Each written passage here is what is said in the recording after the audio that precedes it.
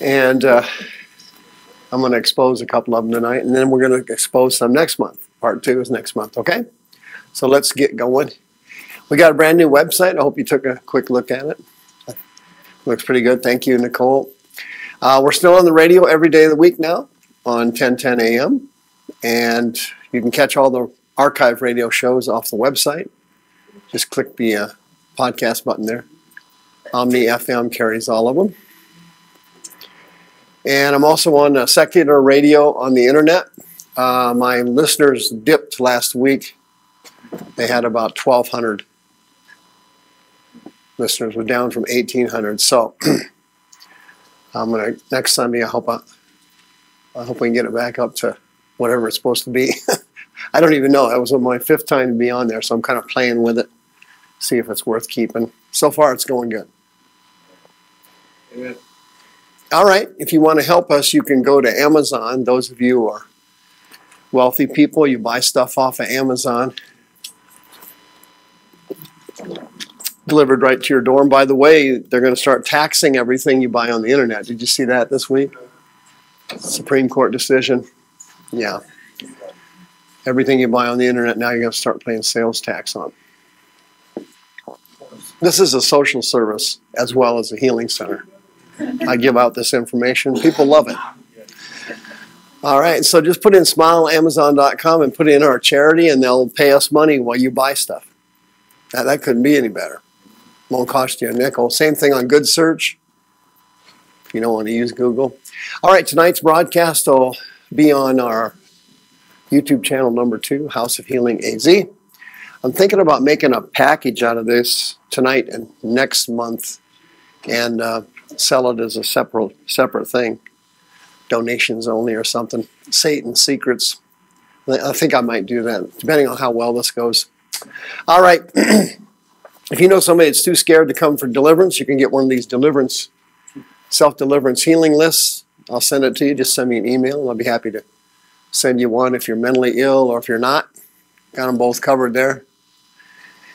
And you YouTubers, remember, you have to open up a terror cell in your church and uh, start picking off the people that need deliverance and healing. If you don't do it, nobody else is going to do it over at your church. Okay, they're not going to minister to them. It's up to you to do it, and you can do it. I started out knowing nothing to very little nothing, and you just kind of learn as you go sometimes. And you make mistakes, but you keep going.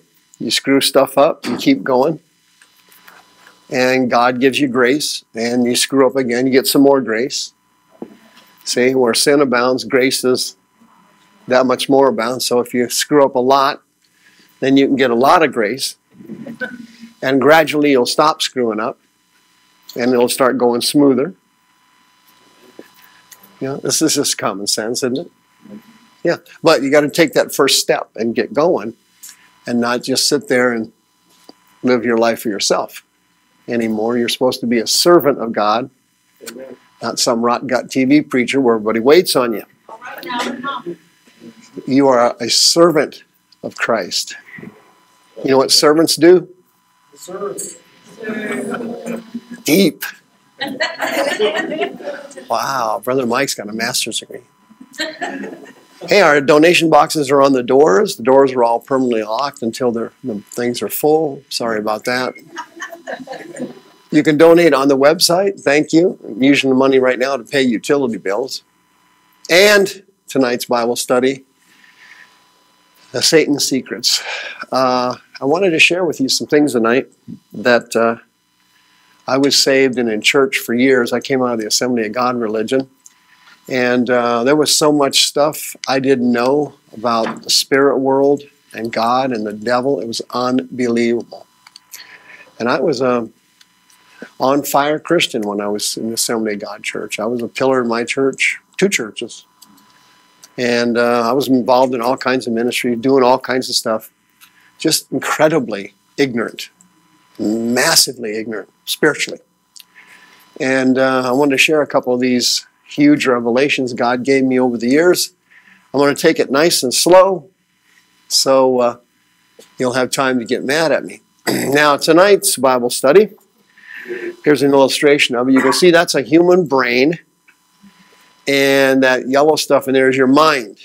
Your mind is located in your brain.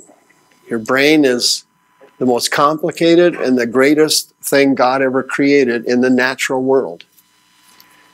The spirit world, I don't know that much about. In the natural world, the human brain and the mind is incredible. They've been studying it for hundreds of years, and we still only know very little about it.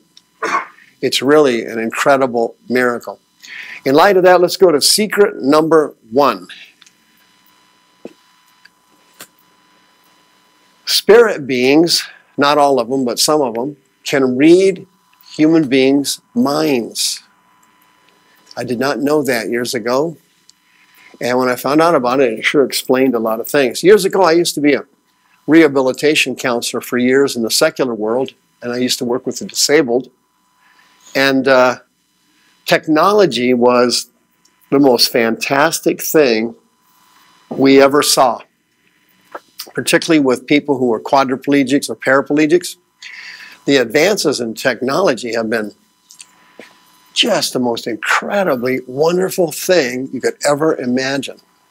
And as you know, you've already seen these things. Quadriplegics and paraplegics can now use computers. And when they first came out, they were similar to these, where uh, they had blow sticks and modified mouses, where somebody who was handicapped here could operate a keyboard without having to use their fingers. And then later on, years later, the technology kept going up and advancing, and then they they moved to facial recognition and facial movements to operate the computer. Then they now recently they've moved to eye movements. So if you're a uh, complete quadriplegic and you have no movement of anything, now you can still operate a computer. It's fantastic. And the computer and the software recognizes your eye movements and you can navigate through the system moving learning how to move your eyes in certain different directions and pauses and different things. Really it's it is really fantastic for disabled people. It's really great. Hawking uh, the super genius died recently he had one of them computers he had no capacities of any kind he had facial recognition computer systems. He had uh, the eye movement system. He had all the advanced uh, computerized equipment. It's really fantastic. However, guess what's happening now? Uh, you're not going to believe it. Guess what's already been invented? You're not going to believe it. Ah, ah, you got it. They have now come out with a system. I know this sounds nuts. the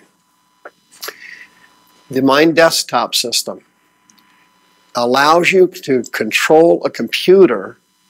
The computer reads your mind.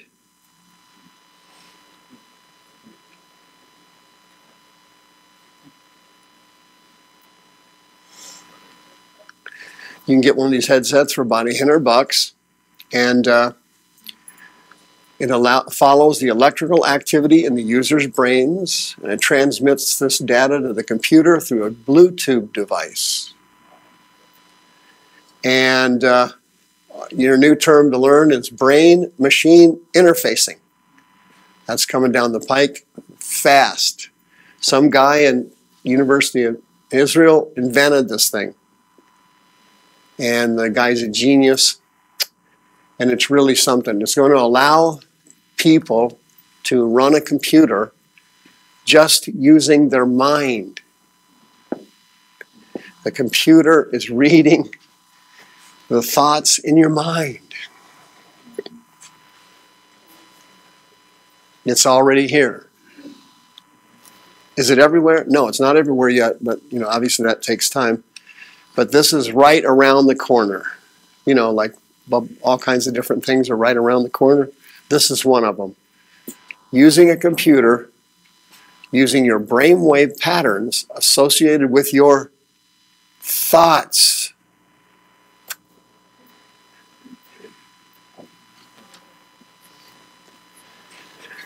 Um, could be anyone, friend, family member. Do you have someone? Female. I want you to imagine she's walking towards you. All right. So she's about she's about this tall.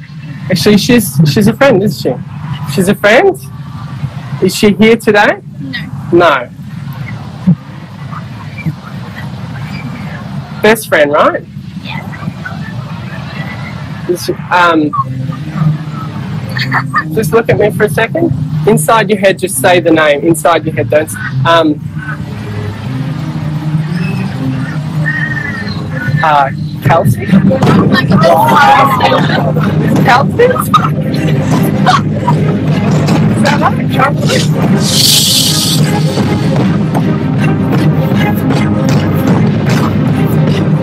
It's a um, it's a bunny rabbit. Bunny? Is it a bunny? Little bunny? Focus on the object. It's your hand back. Your hand back.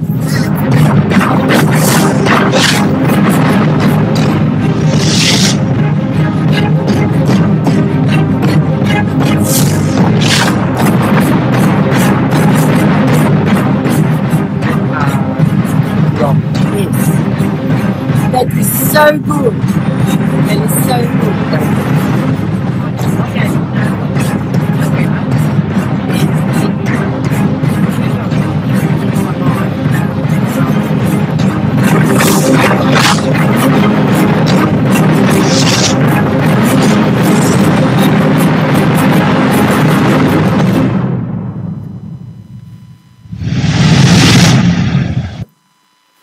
I didn't order that course, but question: If they can now read your mind with computers, and that guy can read your mind through demons, what's the probability uh, God can read your mind? Well, I'd say pretty high. Uh, how about Michael the archangel? Pretty probability, pretty high. Uh, how about Satan? Probability pretty high. Yeah, I think he can do a little better job than a professor, at, a Jewish professor in Israel. Yeah. This guy here is reading minds through demons. So the probability that so, some level of demons, probably familiar spirits, the probability is they can do it. So that means if they can do it, somebody might be able to read your mind. I'm not talking about just your spouse. That's reading facial expressions. That's a little different. I do that all the time. Yeah. Check this out. In addition to reading minds, Genesis chapter 20, uh, Abraham told these people that, hey, this hot babe I'm with, she's my sister. If he told me his wife, what would happen to him? Boom. And they, they took her. He was right. They took her, and guess what? God came to the king in a dream. Right? And if any of you have ever had a spiritual dream from demons or from God, you know that that dream feels different than a regular dream. It's got a totally different feel to it. It's like got a it's a, it's got a vivid concept to it that's not in a regular dream. And in this dream, he could hear God talking to him as clear as a bell and warning him that he was in trouble because he took somebody's wife. First Kings chapter 3 in Gibeon, the Lord appeared to Solomon in a dream. And the Bible says he asked him what he wanted him to give him.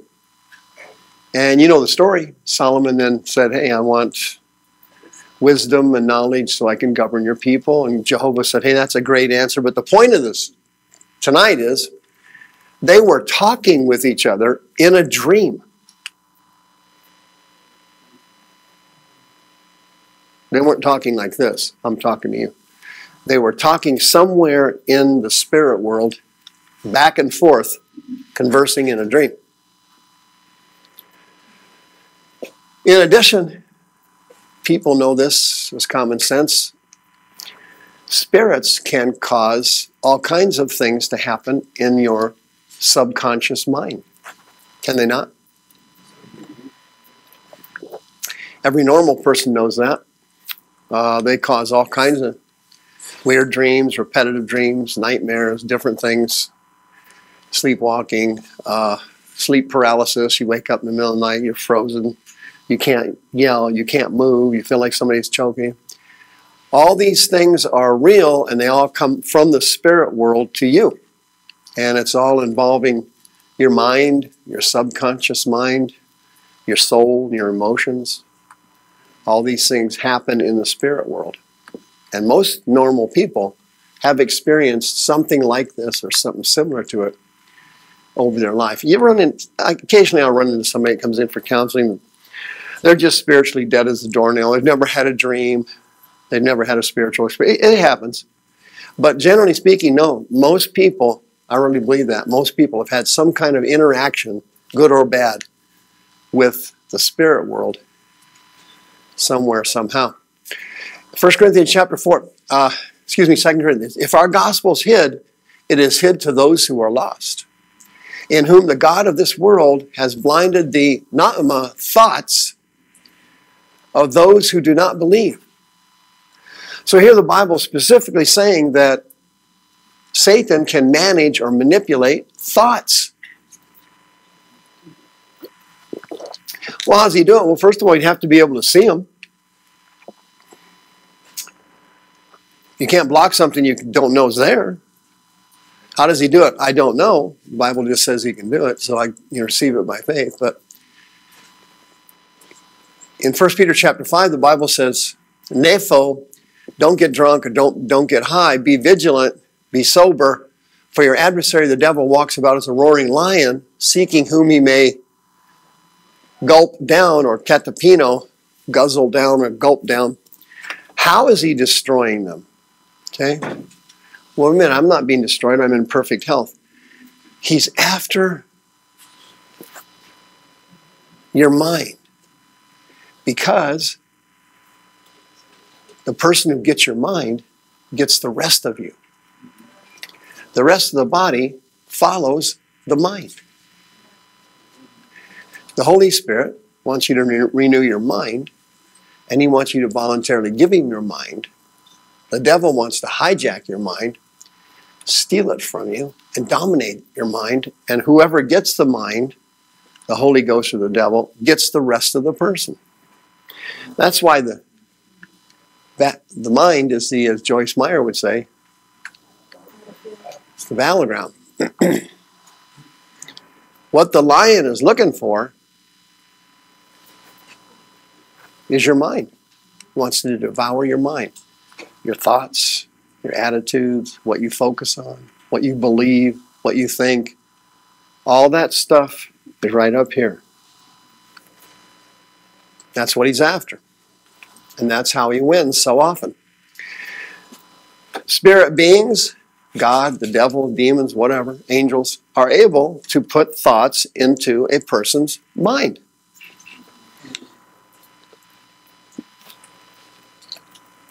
They can put, plant a thought in a person's mind. How do they do it? I don't know. You and I can plant thoughts in people's mind, but I have to do it auditorily. You know, I'll see you Tuesday. I just put that thought in somebody's mind on but I can't put a thought in, I mean I could if I took that course that the, that I had up there earlier, but I don't want to do that because I don't want to pick up any spirits, and that's going to be the end of me. But I can't supernaturally put a thought in your mind. Charles Manson could, but that was that was all demons, right? But this is what the devil does. The spirits put these thoughts in your mind, and these are the top five ones that I run into most often. It's some kind of a negative thought or it's a lie, or it's some kind of a fabricated religious thought, or a fabrication, or an embellishment, or some kind of flattery. usually. I mean, there's other thoughts, obviously. Those are the ones I mostly see. The key to it all is the devil's goal is to control your mind. and he does it by putting thoughts into your mind. And he puts the thought in your mind because he suspects or knows you won't recognize the thoughts from him. You'll think it's your thought. Once you think the thought is yours, then you're in trouble. Then he can manipulate you because you think it's your idea. For example, King David in First Chronicles chapter 21, Satan put thoughts in David's mind and he numbered Israel and brought great judgment on the nation. Uh, in 2 Samuel, he did what? Yeah, man, he had a whole bunch of lustful thoughts pop in his mind. That used to happen to me constantly all my life before I got delivered from lust demons in 2004. I had constant, chronic lust thoughts. It drives you nuts. Ladies, it drives us nuts. I hope it drives you nuts. If you like them, then you, you've got to get down here to the altar tonight. I got so sick of them, I hated them. And was, it was a major thing of guilt, uh, frustration, you know. And then the other thoughts would come in from the devil saying those were my thoughts and I was a horrible Christian because I was having thoughts. And why are you looking at her breasts and thinking about her nipples? And then, oh, you shouldn't be doing that. You're not a Christian. You're not you saved. And I would get all these condemnation thoughts after I got these lust thoughts pumped in.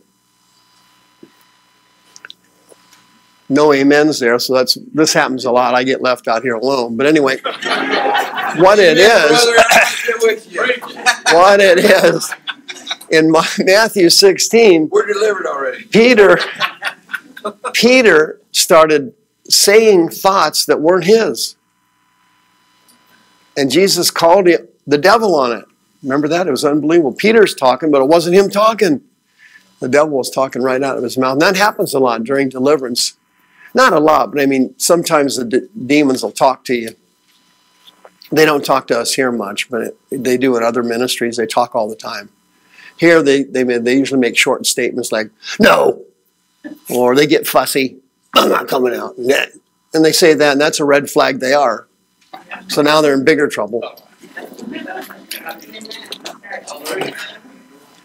And uh, Ananias and Sapphira, oh my God, they saw this other guy donate this money. He did it humbly and quietly. But some other people saw it happen and they thought, oh, that's nice. Uh, Jacob donated some money. Oh, that's, that's sweet. And they overheard it. So these thoughts started coming in their minds hey, you know what? We we've got some land. Maybe we could get some recognition. They both probably had rejection demons and low self-esteem, and so they thought, well, we need to kind of build ourselves up a little bit. We'll pull this stunt. That was all based on thoughts in their mind. Right? And it cost them their lives.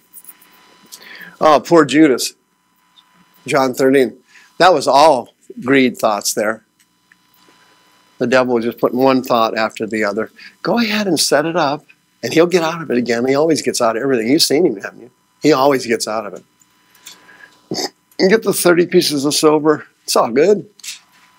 He'll get out of it, join back up with them later, whatever thoughts he had. I don't know what he was thinking, but I know they were all bad.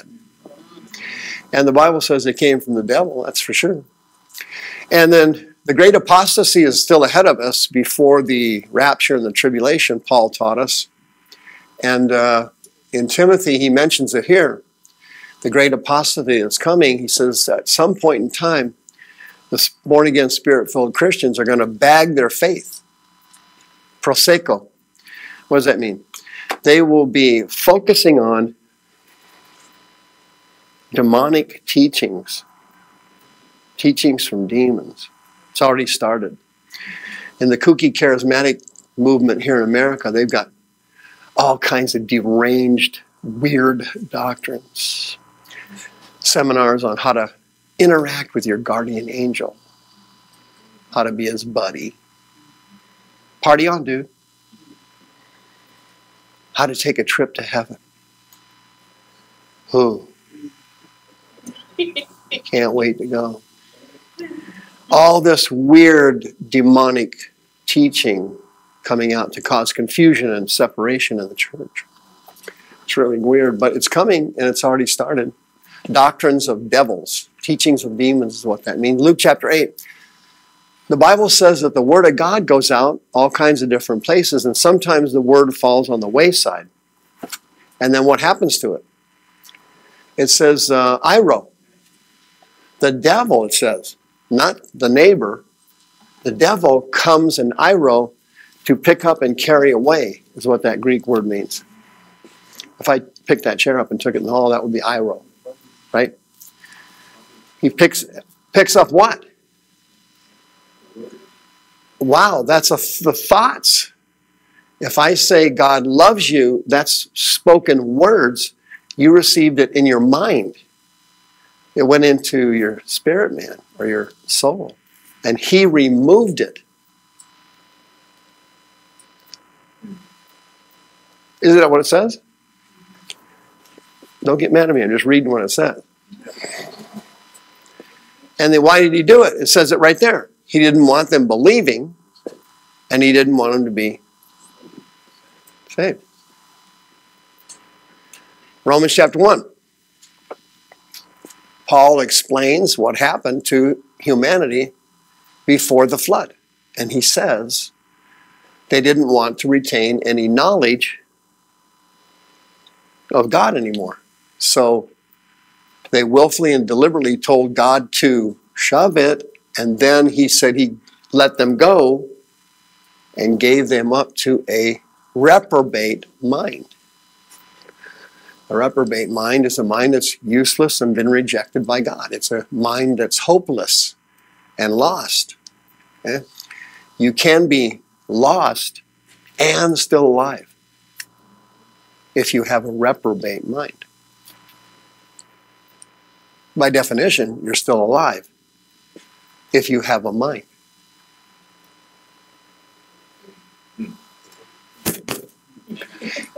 If you're dead, the corpse doesn't have a mind. The, the person has left the corpse, correct? Is that why the Bible refers to mind, body, and soul?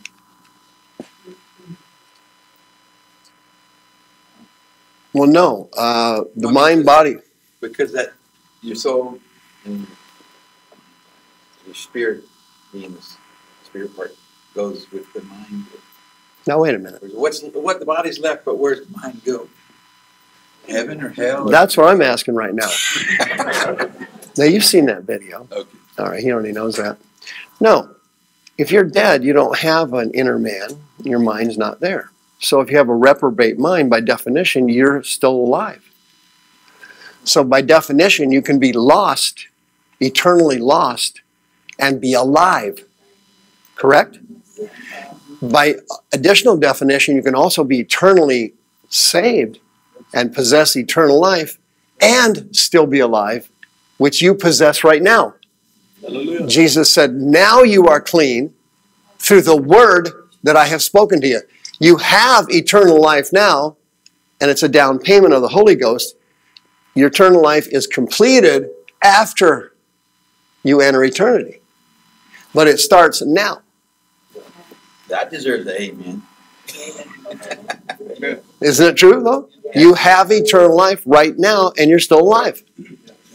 But the completion of it is not until So, eternity. so the reprobate, that's what the devil's trying to get onto you to keep you here, your mind floating around with him. Is that what you're saying? No, a reprobate mind is someone that's not redeemable. If you got a reprobate mind, it's, it's over. You're gone. Um, but if you, you die with a reprobate mind, You go to hell. so the reprobate mind goes to hell Yeah. with your soul. You're already on your way to hell now while you're alive. Correct? What'd you say? Their conscience is gone, that's what the rest of my. When your conscience isn't, yeah, well, it's not gone, but it's what the Bible calls seared. It's, it's is the Greek word. It means it's cauterized. It doesn't work anymore. So the person that has a reprobate mind and a cauterized conscience is irredeemable. They're dead while they're al- alive, Paul said. Dead while they yet live. You can reach a point, nobody here is even close to that, but I mean, there are people out there, a few, who reach such a sick point that they have a reprobate mind. Hitler, Stalin, the guy they just got down here, Scottsdale, that serial killer. What's that guy? Shot seven or eight people there last month. Forgot his name. Anyway, those type of people are in deep trouble while they're still alive. Mike, is that what they call a sociopath? No, no. A sociopath is a is a psychiatric condition, but yeah, you, in terms of your conscience, yeah, you're, they they do have seared consciences. A sociopath is somebody that you know does the most horrible thing, but has no sense of that's wrong, right or wrong. I shouldn't do that. You're hurting somebody. That kind of thing. Yeah, yeah, and yeah, a sociopath could have a reprobate mind, so that's a possibility. Yeah. Yeah.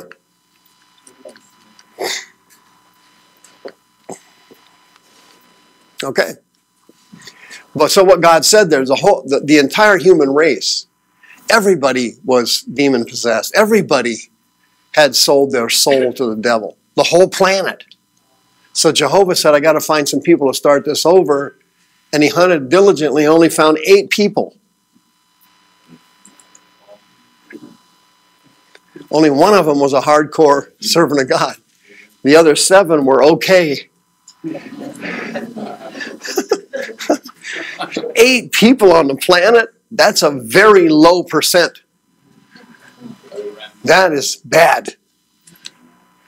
And of course, you know what happened next. You know, swimming.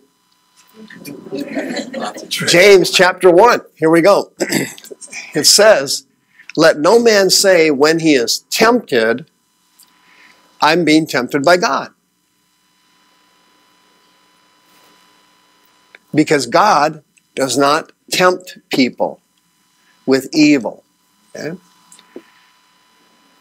He can't be tempted, and he never tempts anybody.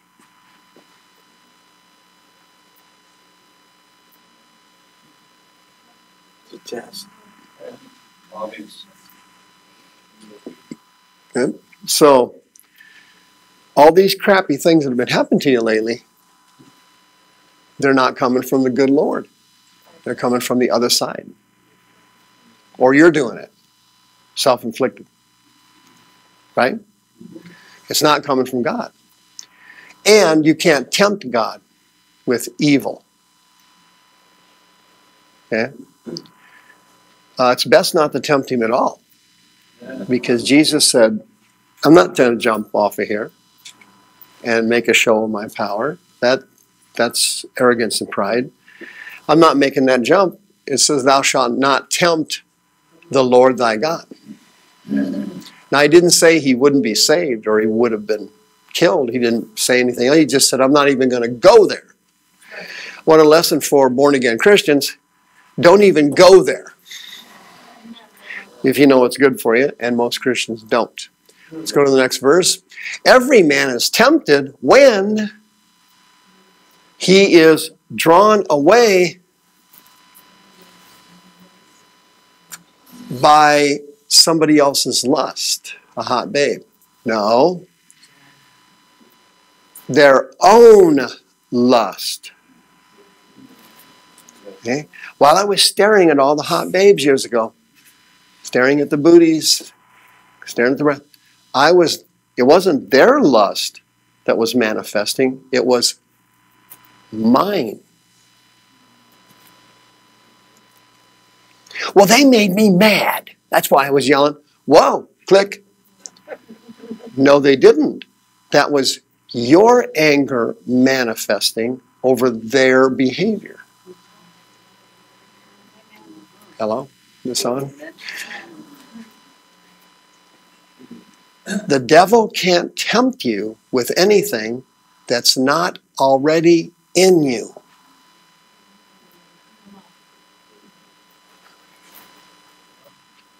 I never am tempted by hot looking guys.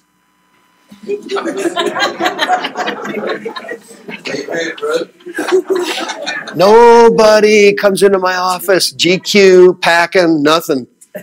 Why? I have no interest in good looking, packing guys.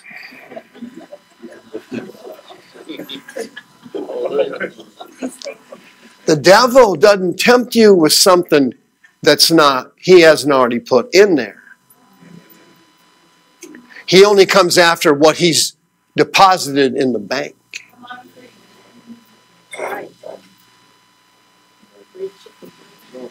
So the guy at work that pisses you off is a plant set up to draw out what the devil already put in you.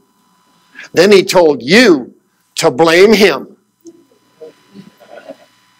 That's why you're never going to get healed. Because as long as you're blaming somebody else for your problem, you get to die sick. Give yourself a hand.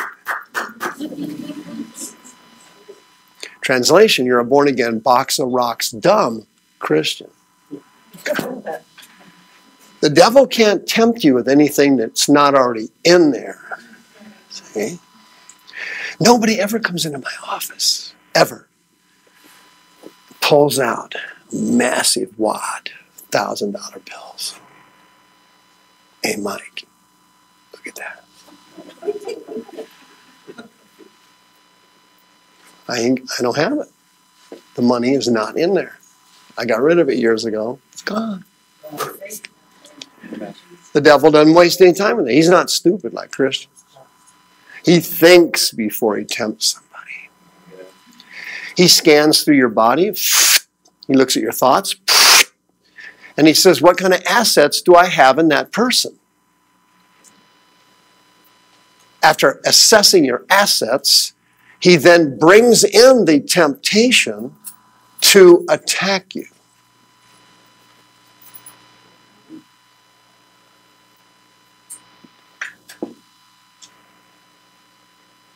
I am never, ever tempted. Never. With racism. Never. The devil never sends me a bunch of blacks, a bunch of Mexicans, a bunch of Chinamen. Hey, there you go, Mike. Here's blacks, Mexicans, and Chinamen. Get them, buddy. Fine, come in, have a seat. Love you. That's not in there. So I don't get that.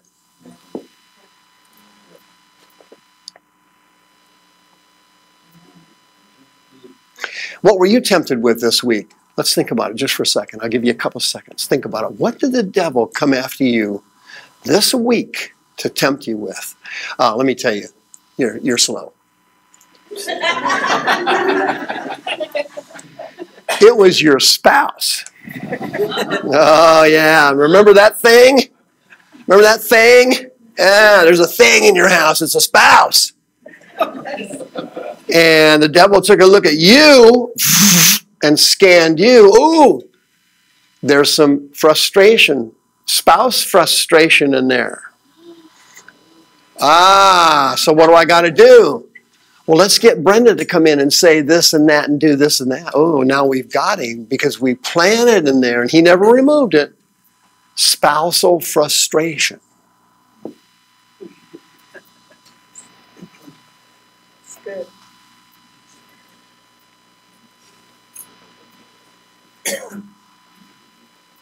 The Pope never gets it. Uh, oh, Pope Francis, man, his wife never comes up to him. What? You didn't pick up your underwear? God, the socks are. He's not married, man. Not interested in a wife. The devil gets in with a whole range of other things, but I'm not going into that. No, we're not going there. We value our life.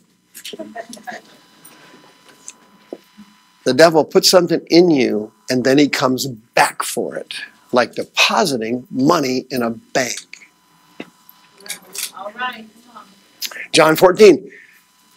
I'm not going to talk much more with you because Archon, the ruler of cosmos, the ruler of the human world, is coming for me. But he has, ah, the divine Savior, the Son of God, sinless, God's limb. The devil couldn't get him to sin. Why? He couldn't get anything planted in there. That's right. Hallelujah. How'd I get saved? The devil couldn't get anything planted in him. That's how I got saved. That's right. Left up to me. Oh, fire in hell. Left up to me. It wasn't left up to me. The prince of darkness came for him. He butchered him. He, he murdered him. He beat him up bad. But no sin. He did everything he could for 30 or something years, however long it was, to plant something in there and couldn't do it.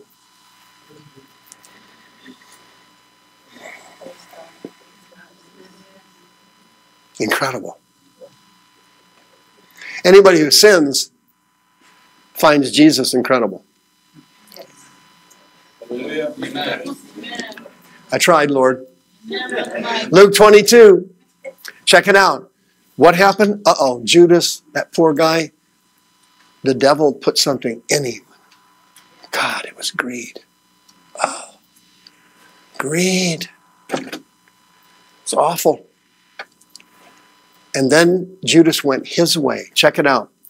Once the devil puts something in you and then you act on it, it becomes you. You didn't hear me. The devil had it himself. It was his evil. It's his sin. It's his lust. It's his bitterness. It's his murder. It's his hate. It's his anger. But when you let him plant it in you and then you acted on it, it's no longer his. It's now yours.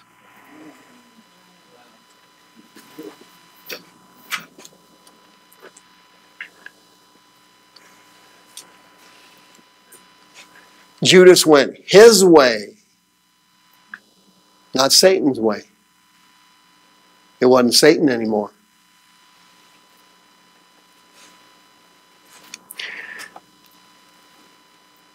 Once you took that spousal frustration, and the kids, oh, the kids are nuts, aren't they? kids will drive you to drink. Once you get that little kid frustration in there. As soon as he plants that thing in there, the devil then starts bringing the kids to you. He lines them up like a Kmart blue light special. He'll even line up neighborhood kids. What's he doing there? He's smart. We're stupid. He planted that frustration with whatever it is, and then he draws in the temptation. He knows what he's doing. How'd that go? Yeah. Why is that significant? when I was serving the Lord at the Assembly of God religion, I was speaking in tongues. I was sincere. I was a, a basically a good person. I had a series of flaws, but what I didn't know was these thoughts and these urges that I would have that used to condemn me so much and frustrate me so much, and the things I prayed over so much and cried over so much and wouldn't go away, I didn't know they weren't mine. And I didn't know it was all false condemnation. The devil would put a thought in my mind, a lustful thought, an anger thought, and I would think it was my thought. And then I would feel guilty over having that thought. And I didn't realize that it wasn't my thought. And if it wasn't my thought, it wasn't my sin. It only became my sin when I acted on it.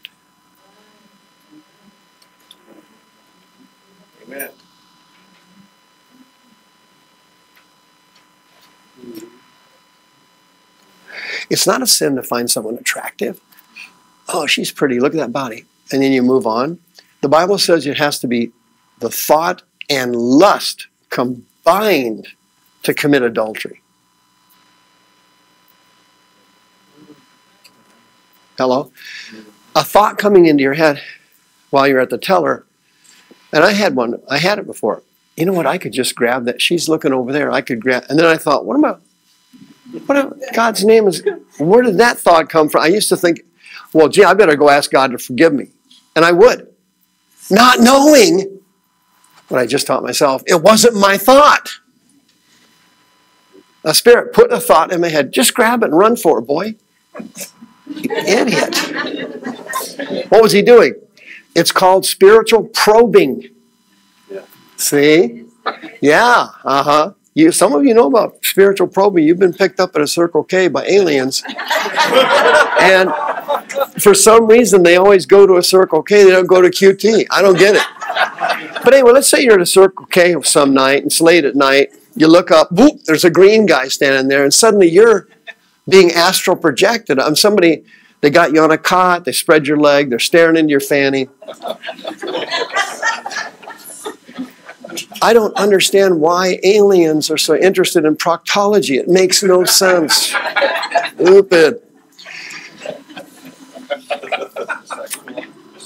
The devil tries to make you think somebody else's sin is your sin. The reason he's doing that is to give you false condemnation. He wants you to condemn yourself because when you condemn yourself, you have no faith to ask and believe help from God because you've already pre condemned yourself.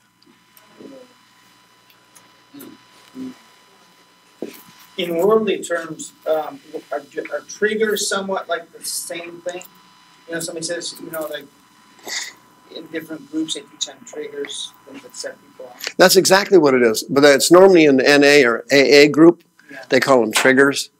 Counselors call them triggers. But what it really is, is the devil plants sin in you.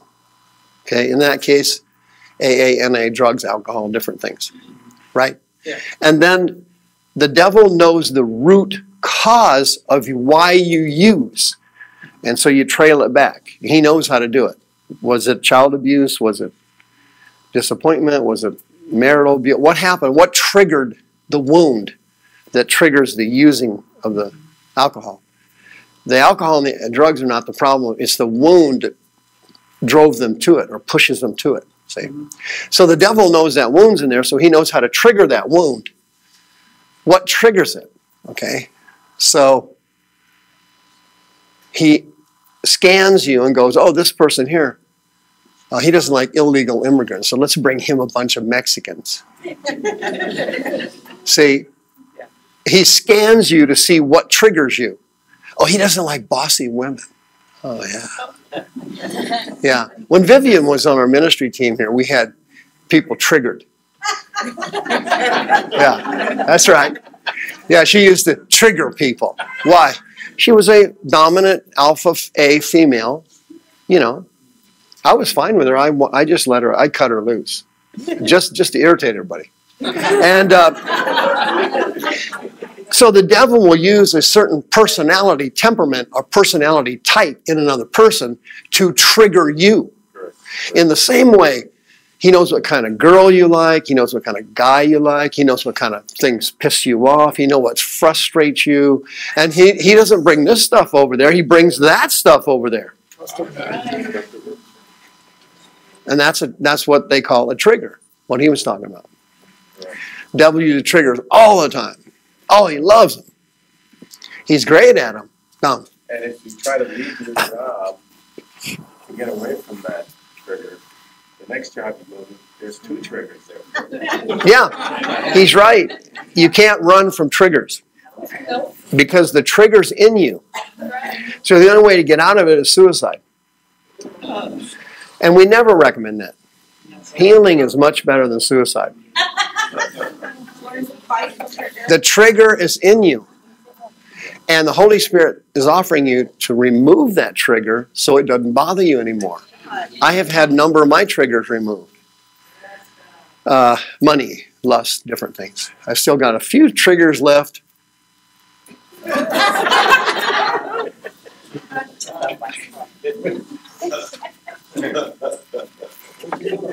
Is Rick, Rick here?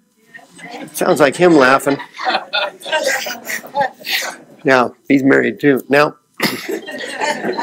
the point is this spirit beings and now humans can read your mind. Correct? And that's why you have looked over your past now and you said, oh my God, it's uncanny at exactly the wrong moment such and such happened. It was almost like it was planned. And it was planned.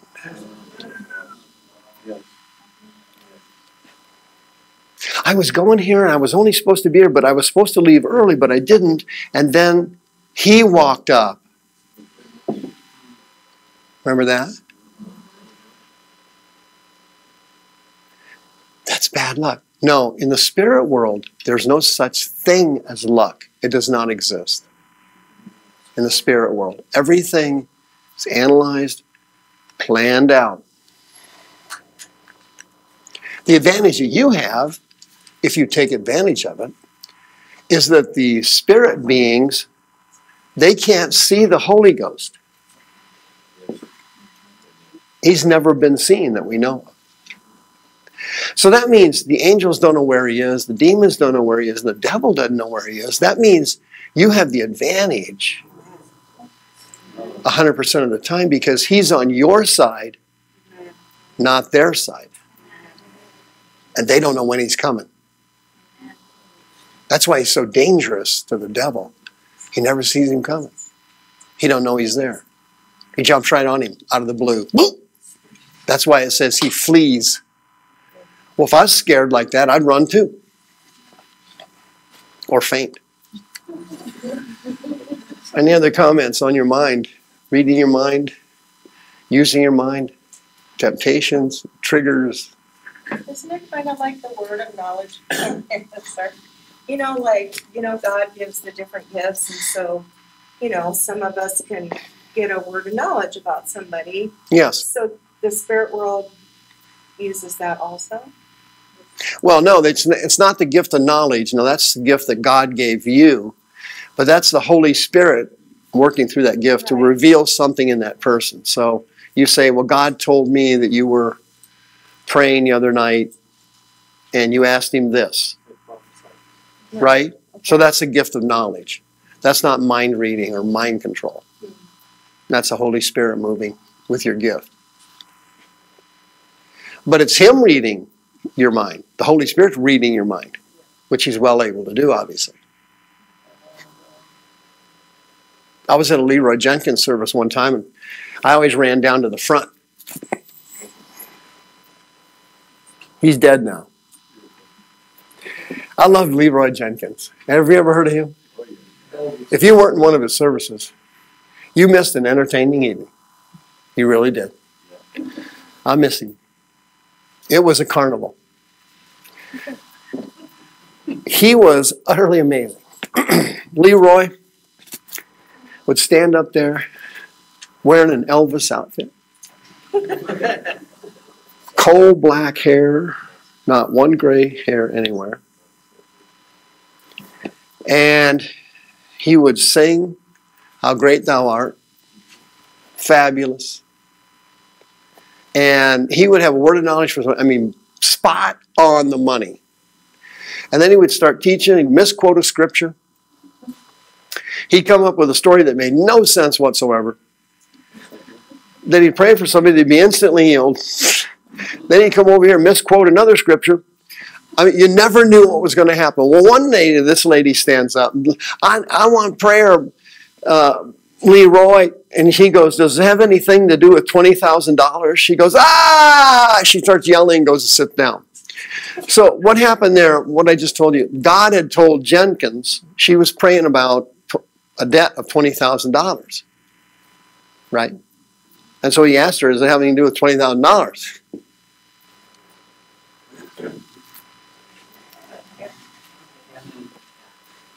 Yeah. Nobody more entertaining than Leroy Jenkins.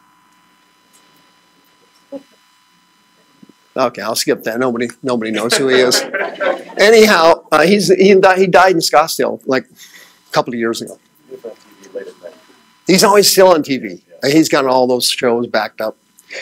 Okay, now let's go on to something else, even more important than what I we just taught on. Right?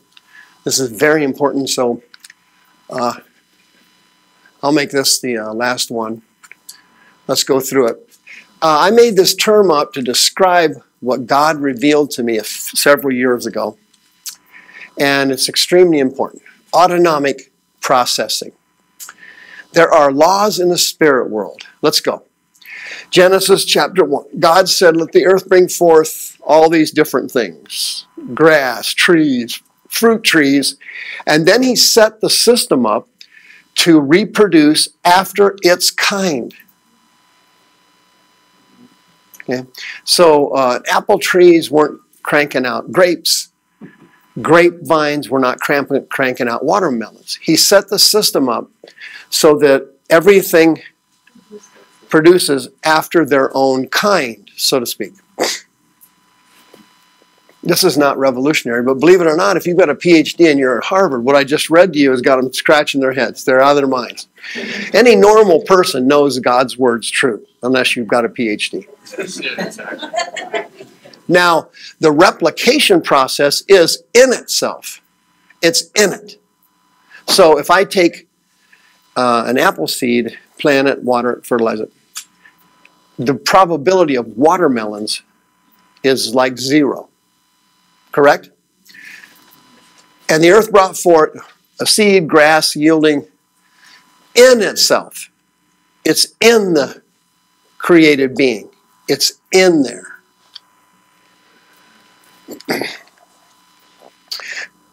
Psalms 104 God laid the foundation of the earth, and it is what? Eternal. The earth will never disappear, it will never go away.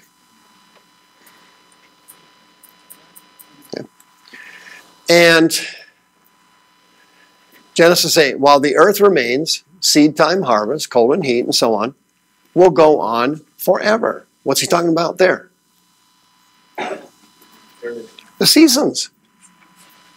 Right? We don't have seasons here, but where I'm from in Kansas, there are four seasons. Here there's two. You know, there's there's hotter in the gates of hell, and then there's warmer, kind of warm as hell. And then there's that's about it. It's all over. In Kansas, we have winter, summer, spring, and thank you. And the Bible says that's eternal. It lasts as long as God does. That will be happening in the millennium. Okay. Okay. God created great whales, every living thing in the waters, but they only reproduce.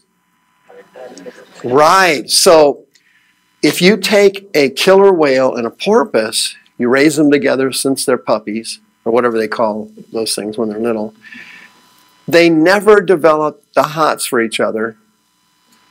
If you mated them or if you test tube the babies,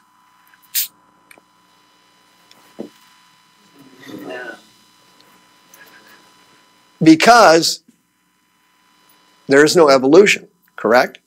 Everything reproduces. Okay.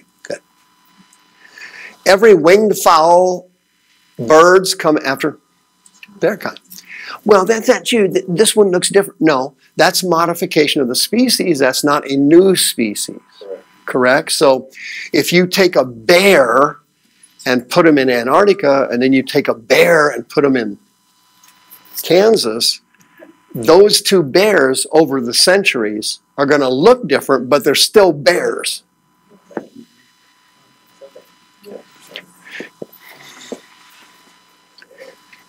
if you try to mate these two.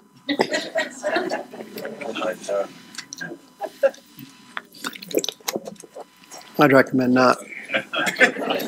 Now, let's say somebody were to come to you and say, You evolved from an ape.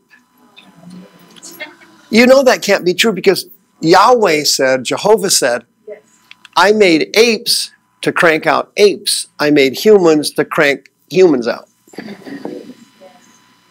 Because everybody reproduces after their kind. Now, I'm not talking about personalities. Let's say you, maybe you were raised in a normal family and you're mad dog nuts. No, that's an emotional, mental thing, and you're still a human. Hello?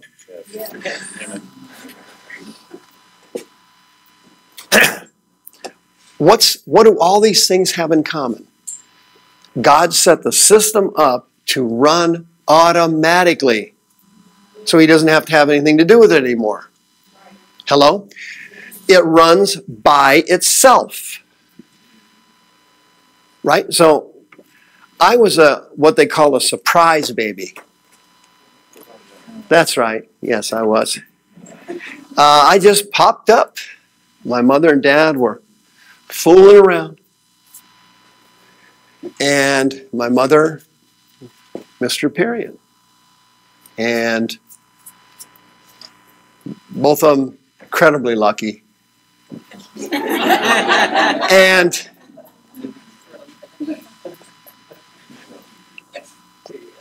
I got created. Right? That's an egg and sperm caper. Boop. There, I had no chance of coming out any kind of animal or goat. I was, my dad's a human. Mom, human.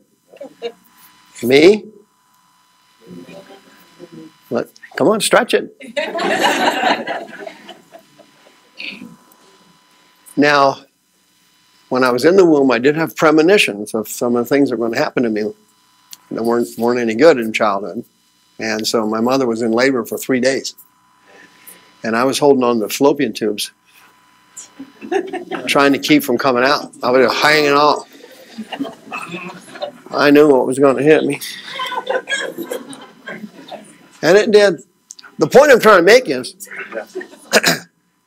God didn't create me, He created the system that created me. Hello? He created human reproductivity. And then Satan committed how I got created adultery. Okay? But God didn't do the adultery. He didn't go down and say, hey, no, you I want Nedra and Jack, I want you to have adultery, and I want you to get pregnant, and you have Mike. Because I'm going to use Mike at the Deliverance Center to explain how this works 60, 70 years later. Okay? That's how we're doing. No, God never did that. God doesn't do that. But He did do it. So the point I'm trying to make is your organs, your guts, your heart, your kidneys, they all run automatically. God's not sitting in your heart, running your heart. He set the system up, though, that causes your heart to run. Everybody with me? Expand it on out. Go ahead. Hubble. The universe was created by God, Genesis 1 1, and He set it up to run without Him. The whole solar system, the whole universe, all the Milky Way, all whatever's out there, God set the whole thing up. How do you do it? I don't know. I don't care. I don't have to know. It runs on its own.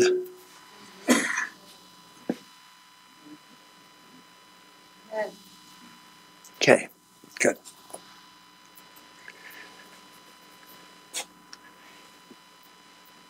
Everything in the universe has some form of energy from God.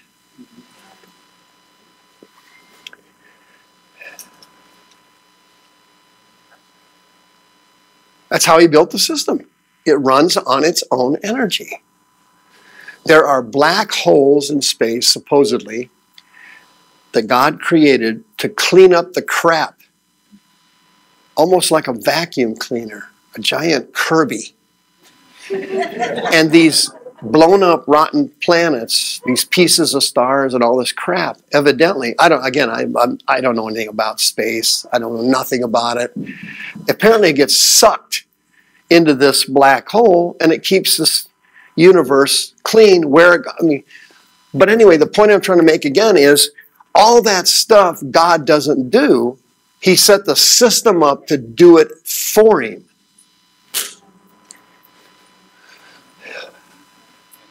you know, Ford didn't made your car, but they don't drive your car. You drive it. Gravity was discovered by Sir Isaac Newton. Okay, this was a, a Stephen Hawking type guy. Monster IQ.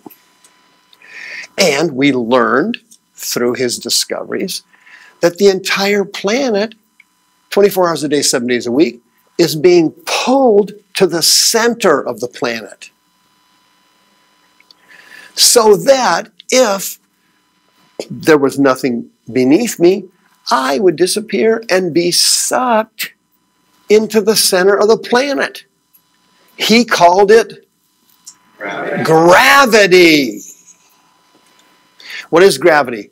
Well, Sir Isaac Newton didn't understand what we understand. He was spiritually ignorant. Great man, though. God created gravity on planet Earth. Other planets don't have gravity. Why? Because the Earth is the center of the universe, and this is where people live, and this is where God lives eternally. Jesus sets up his throne in Jerusalem for eternity, and Earth, for whatever reason, is God's home. Why do you do that? You got to live somewhere. Why not Earth? And what's the problem? Why not Earth? I have no problem with it. So there had to be gravity here, or everybody be floating out to the black holes or whatever we do. Duh. Is God holding me down right now? No, but He set the system up to hold me down. I'm going through this rigmarole right now because I got something important to say in a minute. Okay, so just bear with this boring part. The whole system God set up to run without Him.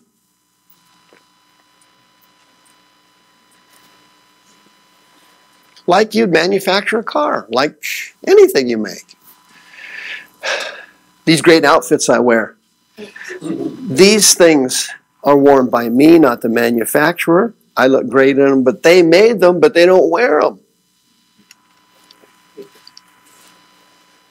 Guess what? Everything has energy. It requires energy for gravity. And gravity is a super powered energy. I mean, it's unbelievably powerful. It's shockingly powerful. If you go up to this to top of the roof here and you walk off the edge here, you will drop, so help me God, like a rock into the parking lot. I am not even joking. Then Kelly's going to have to clean you up. Arnie's going to have to take you home. Everything requires energy. Okay? Spirit beings, although you can't see them and you may not feel them right now, have spiritual energy. I mentioned earlier uh, nightmares, dreams, vision. You can feel spirit beings. Sometimes you sense them in the room, like you get in the creeps. Sometimes you can feel the Holy Ghost in the room and you sense a comfort. Spirit beings have energy of some kind. All created things have energy. Gravity is real. Watch.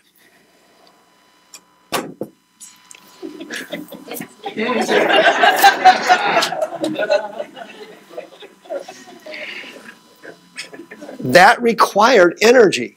I had to pick it up. It took energy to slam it down. See it? It just went by itself. It's like I'm Merlin. Look, you want, here's another miracle. Watch this. See that? Look, it's exactly the same one. Eat your heart out, folks.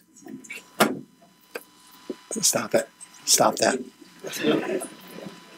Thoughts, prayers have energy.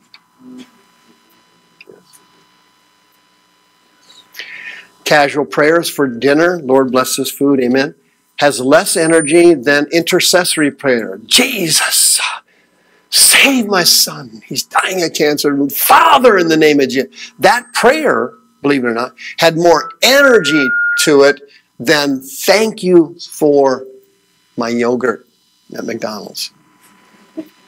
Correct? By definition, then, thoughts ha- also have energies. Some thoughts you have are intense thoughts, others are casual thoughts. Oh, jeez. Where'd she get that shirt? And you go on another subject. It was a casual thought. Other thoughts are, what are, what are they doing here? Oh, God. Well, that had a little more energy and oomph to it than where they got that shirt. Correct? Am I getting too real for you? Okay. Behaviors also have energy. This is less energy than that.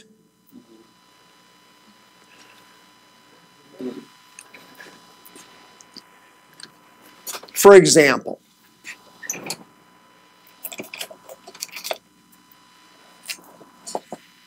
all right.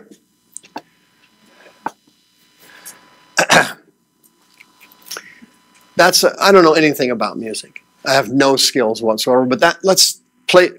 Just play along with me. That's a note.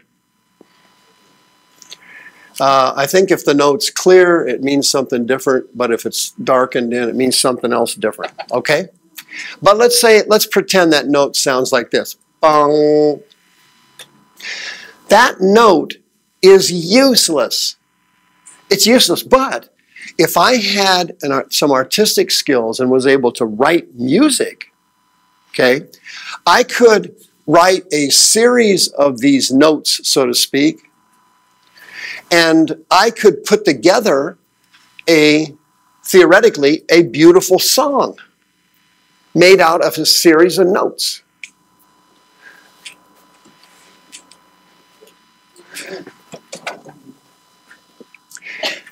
All I would have to do is get somebody to write the music.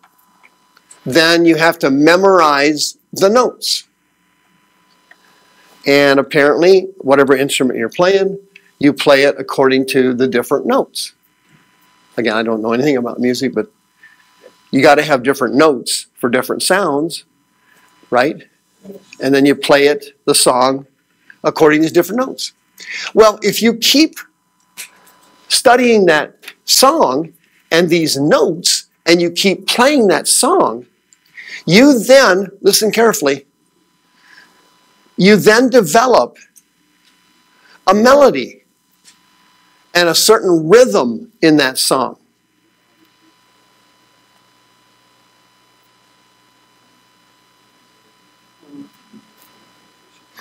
Each song has a different melody and a different rhythm. Okay? Rap music has a different rhythm than classical music, so to speak. Correct? Okay. In the same way, thoughts are exactly the same way.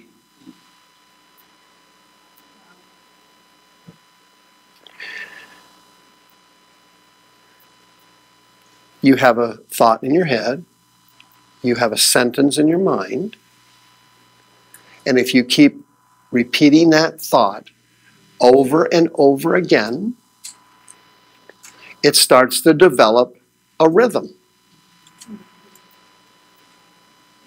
Different from other thoughts and sentences in your mind. As you keep doing that, as you keep doing this, you develop a habit or a pattern of thinking.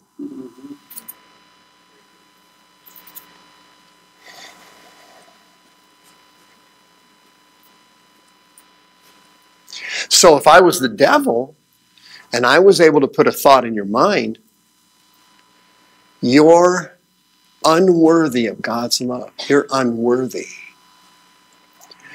And that thought came into my mind, and I said, wait a minute, that, I'm unworthy. That's not true. The Bible says Christ made me worthy. I'm the righteousness of God in Christ. I am fully worthy in the eyes of God, not in my own worthy, but in the worthiness of Christ. Then that thought that came into my mind from the devil would have been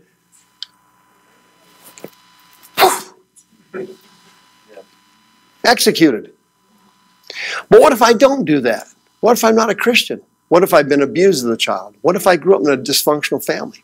What if my parents were jacked up? What if I was beaten as a kid? What if my parents yelled at me? What the thought would come into my mind and then I would see evidence of it in my family. Mom yelling at me, dad left me, brother molested me. What? Wait a minute. You're worthless. You're worthless. You're worthless. You're worthless. Look, there's proof you're worthless. Proof you're worthless. Proof you're worthless.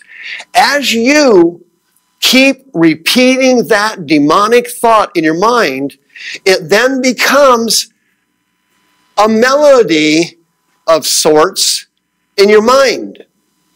It then becomes a rhythm. It has a rhythm, a natural feel to it. I'm, I'm unworthy. I'm worthless. I'm no good. I, I, my mom said that I was going to end up like my brother. My, I'm no good. I'm unworthy. And all of a sudden, these repetitive thoughts become habits.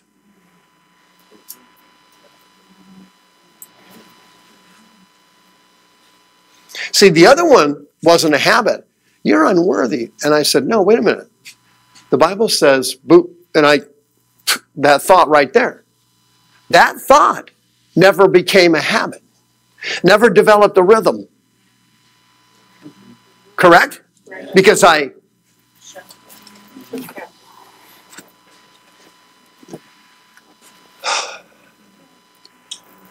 I need to get that this in before I go to the next one. Is there any problem right now? Does anybody here have any questions or anybody mad at me or anything? Nobody? Everybody understood what I was trying to say? Okay, let's go. Here we go.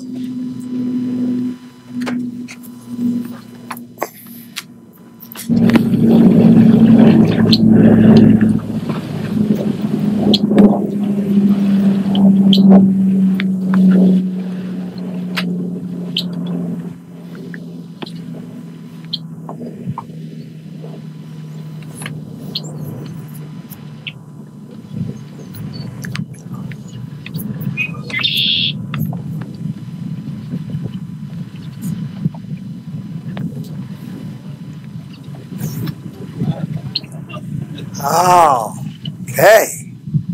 Now, you know what that thing is? Of course you do. That's called a whirlpool. A whirlpool runs on its own. Nobody turns it on. Nobody makes an announcement. Go ahead and start. It just goes. Watch. The whirlpool is running on its own. But the only dangerous area is here, not out here. Now, these ducks are looking over there at that whirlpool and they're checking it out. But both those ducks or geese or whatever they are are sensing that thing's dangerous. They're sensing it. And if you'll notice, one of them takes a closer look. See him there? And then he paddles hard and gets away from it. Do you see that?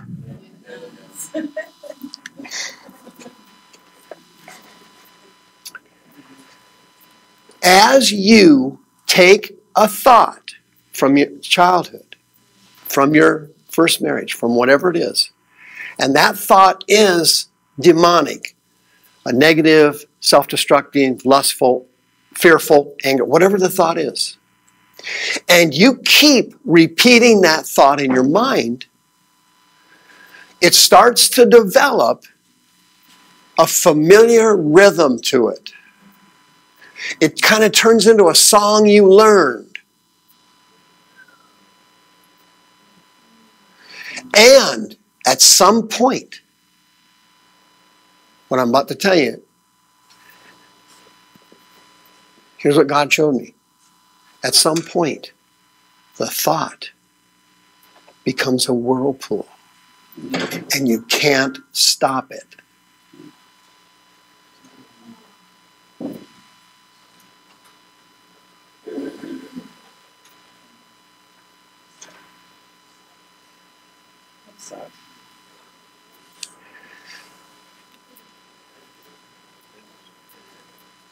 Autonomic processing is the name I made up for it.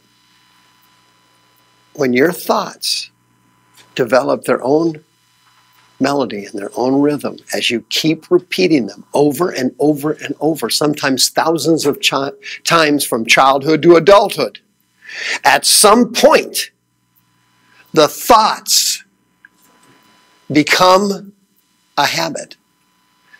And then the habit becomes a demonic whirlpool.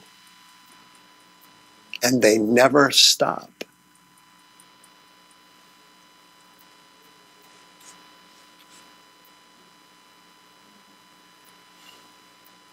So a 62 year old man is still thinking about the time his dad yelled at him in the shed when he was five.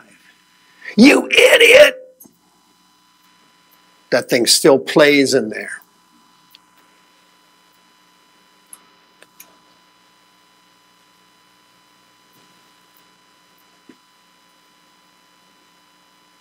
What's going on here? Your mind is like the entire universe. It can run on its own.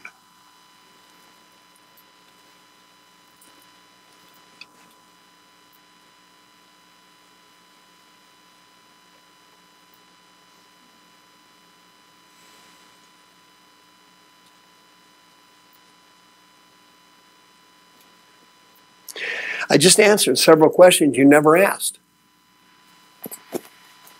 Why do I always have the same thoughts? Why do I have these racing thoughts when I lay in bed at night, particularly when I try to go to sleep? All of a sudden, my mind goes here, then it starts to go and go and go, and it runs and runs. And runs.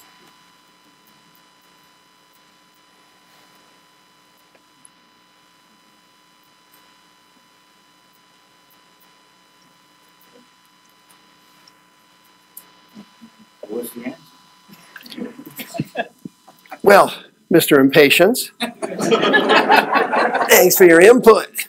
You're so busy. My mind's racing. Yeah, I know. Now we could prop him up here and use him as a get, skit, but listen carefully. Those thoughts that you keep having started out as a single thought at some point in your life. Could have been years ago.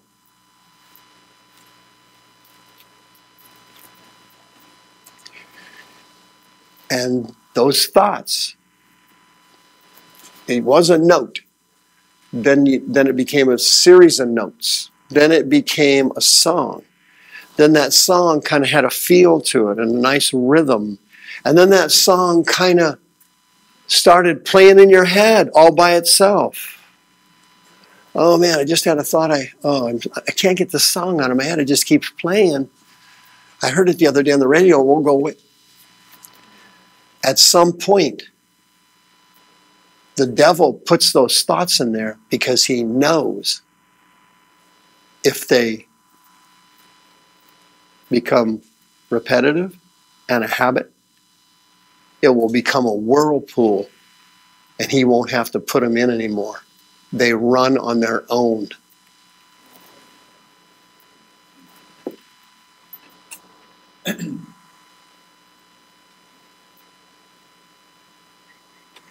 Think about it for a second. How many times and hours and weeks and months and years have you spent trying to help somebody? You go over it with them a million times. What are you doing? Why are you doing that? We went over that, didn't we? 50 times. When are you going to stop doing that?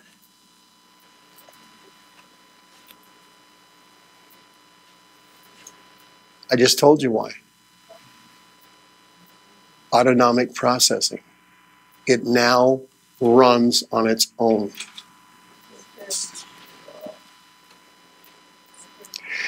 Bob, God, we've been praying for you for months. You still hate yourself? God, jeez, golly, now you're making me hate myself. the person praying for the person is spiritually ignorant, and as almost all Christians are, thoughts can become whirlpools that run on their own. And there's nothing you can say or do to the person to stop it. You've tried it. Stop it! Will you quit it? For God's sake. You've tried every technique in the world, heaping shame on them, going moral on them, threatening them with violence, threatening to. Nothing works. Why? Autonomic processing. The thoughts now run on their own. How does it work? Okay, organize notes, make a song, a collection of thoughts, make a sentence, a concept, an idea. Correct? You keep repeating those thoughts over and over again, and it develops into a habit.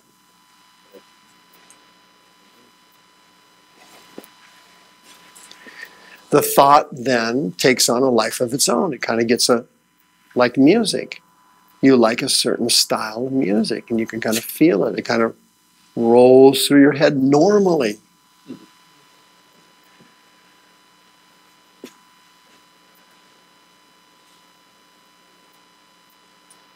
If you don't break that habit of thinking pattern, it becomes a whirlpool and then it runs on its own.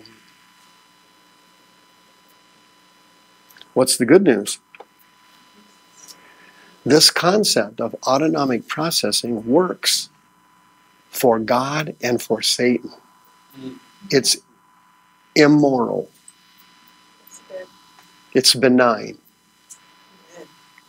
That's why the Bible says if you will re- renew your mind on God's Word and the Holy Ghost, you can develop positive autonomic processing. Examples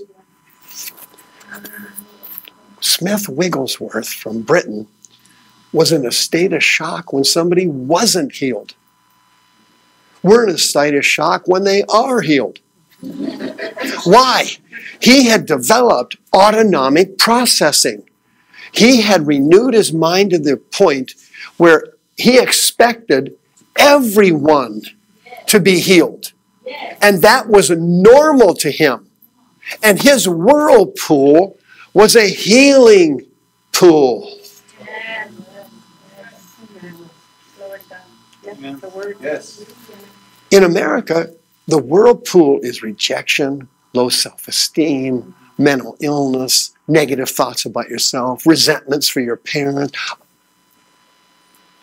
And as you keep processing these thoughts, they develop their own rhythm, and suddenly they run on their own, and you can't stop them anymore it becomes natural to you.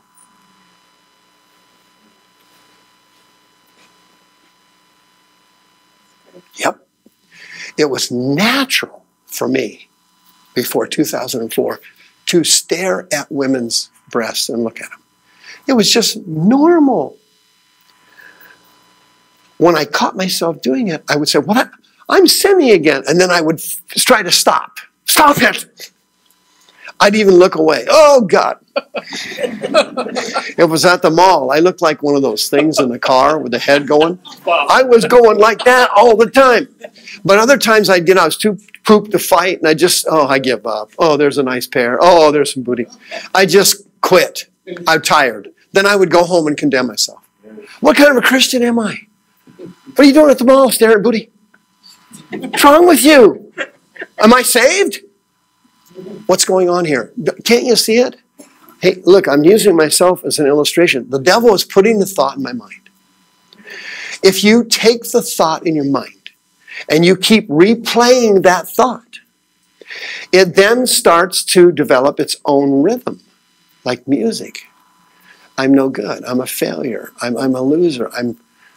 This isn't going to work. That's not going to work. You start to develop negative thinking patterns, which become very natural to you. You start to expect crap to fall apart.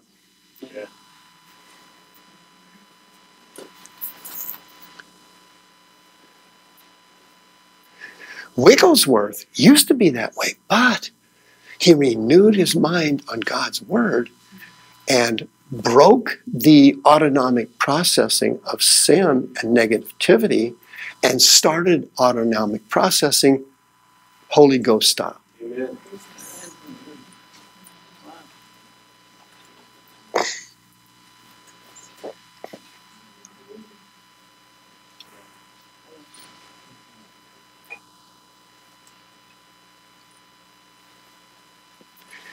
If the thought is a habit and you catch yourself thinking about it, you're headed for deep trouble. Because at some point, like the universe, it will just run on its own. Why is it doing that? God created it to do that. Yes. Tony Robbins knows what I'm talking about, but doesn't understand how it works. But he knows what I'm talking about. These self help gurus sell these books, DVDs, and they, they make millions, and they train these people to think positive.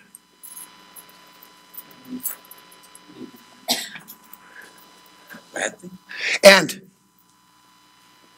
no, it's not a bad thing, but I'm, I'm, I'm what I'm trying to illustrate here, here is that even sinners understand what I'm saying to you, but they don't know how it works spiritually.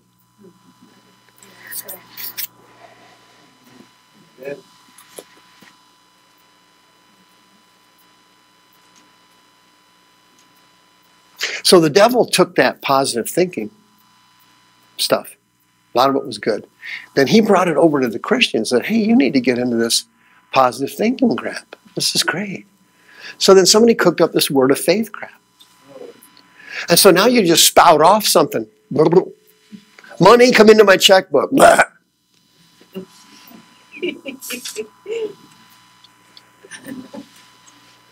Stupid. Get a job, fool. Almighty. Don't get me off on that. Once you start a certain thinking pattern and it reaches the point, the crossover point, it starts running on its own.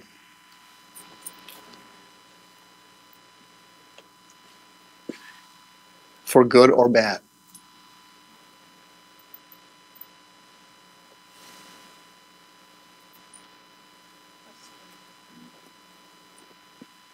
Have you ever met somebody they kind of make you sick, really? They've always got something good to say, even about somebody that's a scumbucket. It happened to me when I was young. I was a teenager, and somebody was talking about Adolf Hitler, and somebody piped up, Well, at least he was a good organizer. That woman, the woman had autonomic processing, but it was in a positive direction. See that? Whereas we were running Hitler down, ripping him to shreds, she, her, her processing went to, well, and he was a good organizer. Yeah, I mean, it takes a lot of skill to run concentration camps. You got to be on the ball there. the point I'm trying to make here is this is what's wrong with Christianity in America today. This is what's wrong with you. This is the root of mental and emotional illness in Christians. If the spirits are more powerful, this process turns into bipolar, schizophrenia, DID. And then the mind races on its own and won't stop. The person then can't stop it, even though they want to stop it.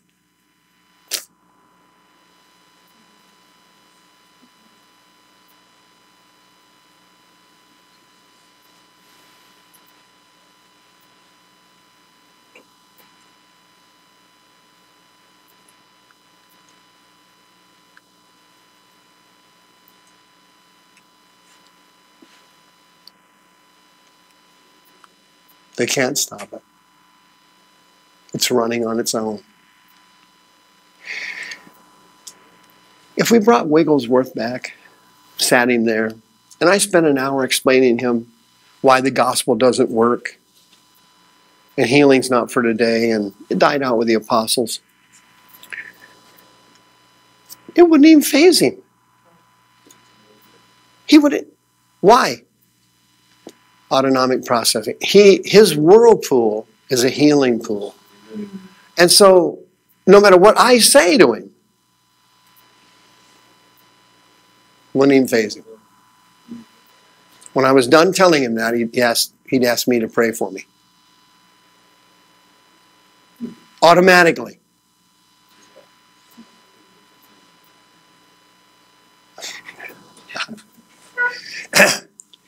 if God created the human mind to have the capacity to do this, what about him? Well, it's telling about him.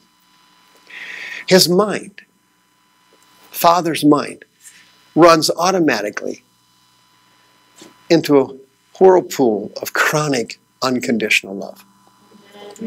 And no matter how you sit here and yell at him, you don't love me, you don't care, you're not listening yet, though his whirlpool of love is still going just like that. And phase, you didn't faze him at all. Nothing changed at all. You griped for two hours, but nothing changed.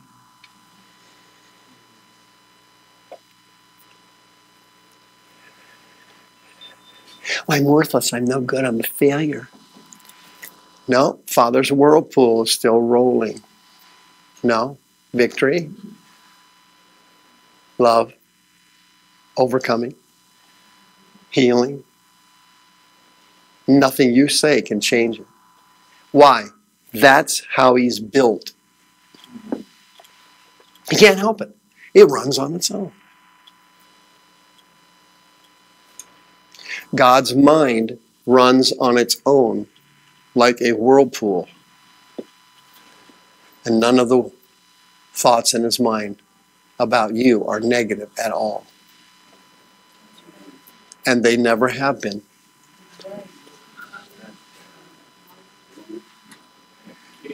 What's that whirlpool called? It's a negative, it's an addiction. It runs on its own. Uh huh. Robert Palmer had an addiction. What was it? He's addicted to love. he could not stop it and this one would break up and it was rotten, but there he goes again. He'd get into another one, and then that would.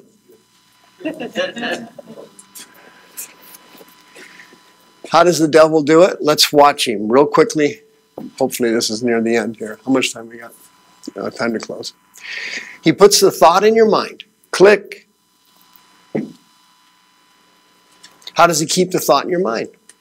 Well, he makes sure it's a negative thought. How does he keep it there? Fear spirits. Keep the negative thoughts running in the person's mind. I'm a failure. I'm going to die broke. I'm not going to. I'm going to die alone. I'm, no, I'm not a good person. Nobody loves me. Negative thoughts generate fear. Chronic negative thoughts and fear generate trips to counselors, psychologists, psychotherapists. Trips to psychiatrists generate medications.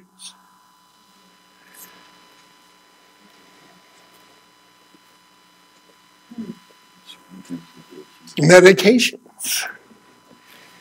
are trying to slow down your whirlpool of chronic negativity. Why? Because it runs on its own. It runs by itself now. You put the notes together, you made the song, you developed the rhythm, and at some point, your habit became permanent. And now you can't stop criticizing people. You naturally have a critical thought about everything. You're a chronic nitpicker. You got it from your mom, your dad. And you do it naturally, you don't even know you're doing it. It just runs automatically. You're natural. You're a natural excuse maker. Yeah, as soon as something bad happens, you're pointing the fingers. You're looking at somebody else. You're blaming them. You're blaming your, your relatives. They were apes. you're blaming the neighbors. You're blaming your parents. Oh, it's my genes. Oh, I got a chemical imbalance. what are you doing there? You're just simply running your whirlpool. It runs on its own now. Yep. That whirlpool runs so fast, those thoughts come in so fast, you get so sick of them. Up, time to go to the doctor. Time for pills. Got to slow it down. Problem is, if you don't get the right combination of pills, those thoughts accelerate. And sometimes those thoughts start taking on voices. Voices. Somebody talking to you. Sometimes you hear your name called. Mike. You turn around, you, you swear to God somebody called your name. You heard your name. That's how it starts. You're driving along. Oh, I keep seeing threes everywhere I go. There's a three. God, every time I, there's, look, three threes. You don't get it, do you? He's setting you up to get your whirlpool running with fear, the motor. Fear keeps the negative thoughts alive.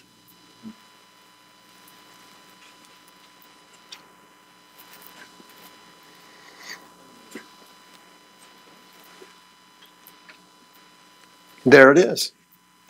He puts these thoughts in your mind, and fear spirits make the thoughts real. As you keep repetitively going over them, guess what happens? Autonomic processing. Your mind starts to run on its own, and it's negative. Guess what else happens? Autoimmune diseases. Your body then starts to develop the sickness that won't go away in your mind.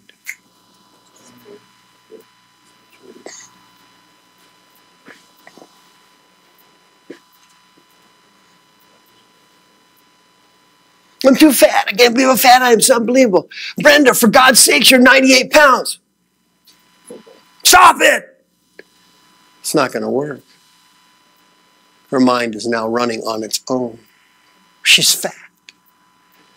Her mother told her she was overweight. She needed to lose weight. She was a kid. The demons told her, hey, you're fat. You need to lose weight. My God, you look awful. They look in the mirror 98 pounds, they, they look fat. Don't you see it? The mind is running now automatically. It's automatic, it runs on its own, like the universe, like the solar system. It all runs on its own.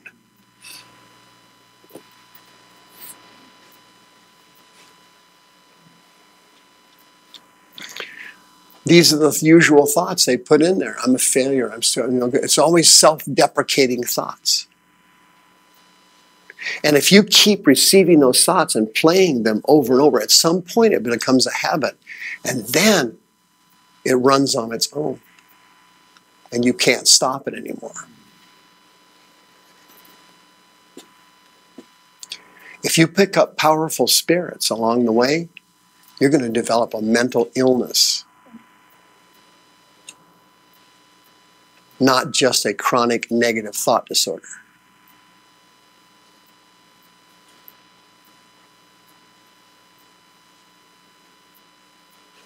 That's the advanced stage. And that's where you're headed. What's a mental addiction called? OCD. You kept listening to those thoughts for so long. You wouldn't stop. You wouldn't catch them. You wouldn't take them captive. You kept look, listening to those lust thoughts, porn thoughts, whatever it is. It kept running. Now it's running on its own. Now you're trying to stop it and can't stop it.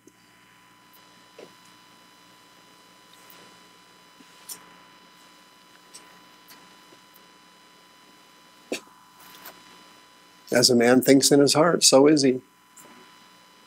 No kidding. For sure.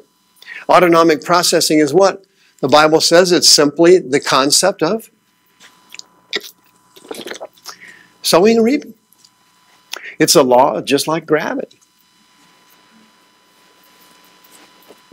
A couple quick examples, and then we're done. Okay? Luke chapter 22.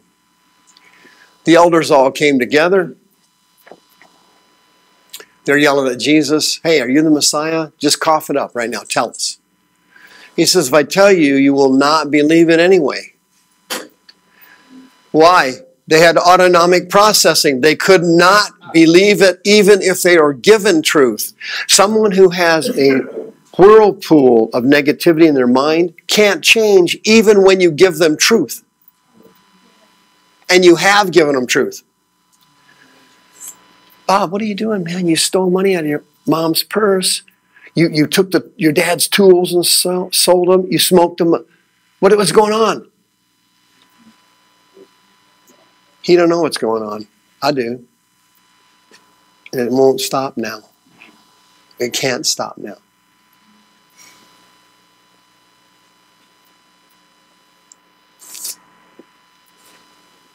John chapter 5. Some guy sitting there by the pool of Bethesda for 38 years. This guy's disabled. It's unbelievable. This story is mind boggling. Jesus walks up to him and said, Do you want to get healed? He wasn't mocking him, it was a legitimate question. Why? Jesus understood autonomic processing. And guess what? This guy had it. After 38 years, his chronic negative thoughts about him not getting into the pool now ran on their own. And he naturally responded with what? Negativity. Listen, what are you talking about? I can't, I can't get in the pool and no one will help me and this won't work and that won't work and I've been sitting here for 38 years. Jesus looks around, he looks at him, he goes, Well, that's a decent answer. I get that. He tells him to stand up and start walking and take this cot out of here. He does it. Can you imagine that? 38 years you've been laying by the pool there, disabled. Some guy walks up to you, you don't even know who the guy is. Can you imagine that story? That's one of the wildest stories in all the Bible, my opinion. It's incredible. He picks up his cot, he starts walking off. What happened to him? Unfortunately, he ran into the church people. You run into church people after you've had a miracle, you'll lose your miracle. They'll start quizzing you. Who told you to pick up your bed and walk? Well, I don't know who it was. Jesus hid himself. Afterward, Jesus found the guy in the temple. He says, Hey, listen, you need to stop sinning. Something worse could happen to you. My God, I can't even believe you made that statement. What's worse than laying there disabled for 38 years? Well, there's a lot of things worse. Hell would be one of them. The guy finds out it's Jesus, and instead of falling on his knees, worshiping him and thanking him for healing him, he turns into an American Christian. He runs over to the Jews and rats on him.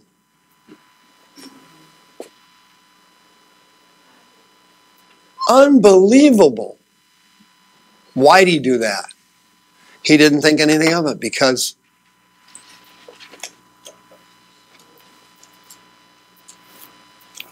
it went negative automatically in spite of his miraculous healing.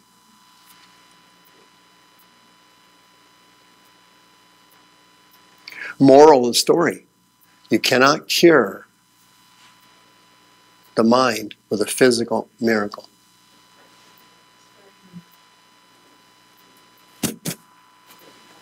You cannot cure your mind even if you receive a physical miracle. That does not replace renewing your mind. You cannot cure your mind if God bails you out of bankruptcy, heals your daughter, saves you from a car wreck, a semi coming right at you, and it jumps over you miraculously, you're not even scratched. You will still have autonomic processing.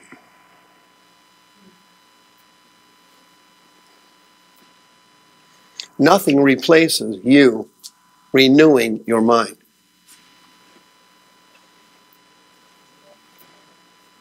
Thomas isn't around when Jesus shows up after the resurrection.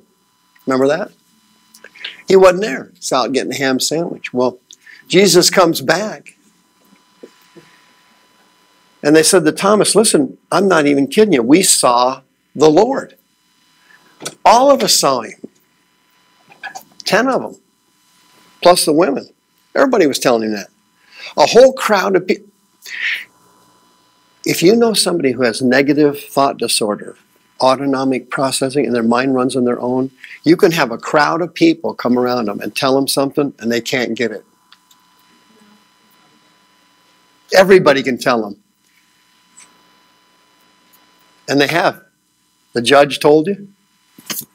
Your spouse told you. The prison guard told you. Your neighbors told you. The old mama told you. And they never changed. Remember that? Yeah. What's the term for that? Violating probation. Let me get this straight. You were in prison, right? Yeah. You got paroled, right? Yeah. Did you like prison? No. Okay, you're on parole, right? Yeah. And you stole something from a Circle K from an alien? and you violated your parole and now you're going back to prison? Is that, is that sum it up? Yes. No, it doesn't. What's wrong with the guy? Just told you. It runs automatically. Okay? Gangsters go to prison, they get right back out and go right back into the gang. Mobsters, gangs, they all do it. None of them go, oh my God, you know what? Jeez, I've had a, the light bulbs have gone off in my head here. Gee, that's amazing. I was committing crimes. That's wrong. I can't do that anymore. So I'm going to sell hot dogs and be happy with that. Mm. Those thoughts never come in there because they can't. Don't you get it? Don't you understand? Once you go past habit, your mind starts to run automatically, and even if you get paroled, you will go back to prison. It's called recidivism. It's enormously high. Why are they repeating? I just showed you. Thomas, in spite of everybody telling him they saw Jesus, wouldn't believe it.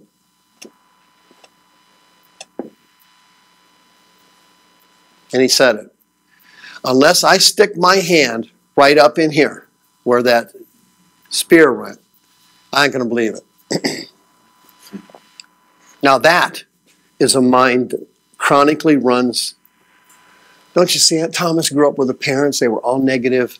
They were always saying doubtful things. Oh, that ain't going to work. This isn't going to work. You'll never amount to anything. You're like your brother. You're this, you're that. As you keep repeating those thoughts over and over again, they start to develop a habit in your mind. And at one point, the thoughts start to run on their own. And you've got a mental whirlpool that won't stop of negativity, chronic negativity.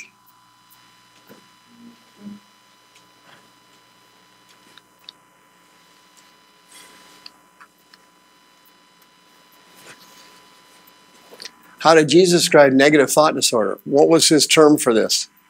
It was in Matthew chapter 13. He said, These people are the fulfillment of the prophecy of Isaiah the prophet. He said, You hear, but you don't understand. You see, but you don't perceive. These people heart is waxed gross. What's that? Seared conscience. Your ears are dull of hearing, and your eyes, they closed.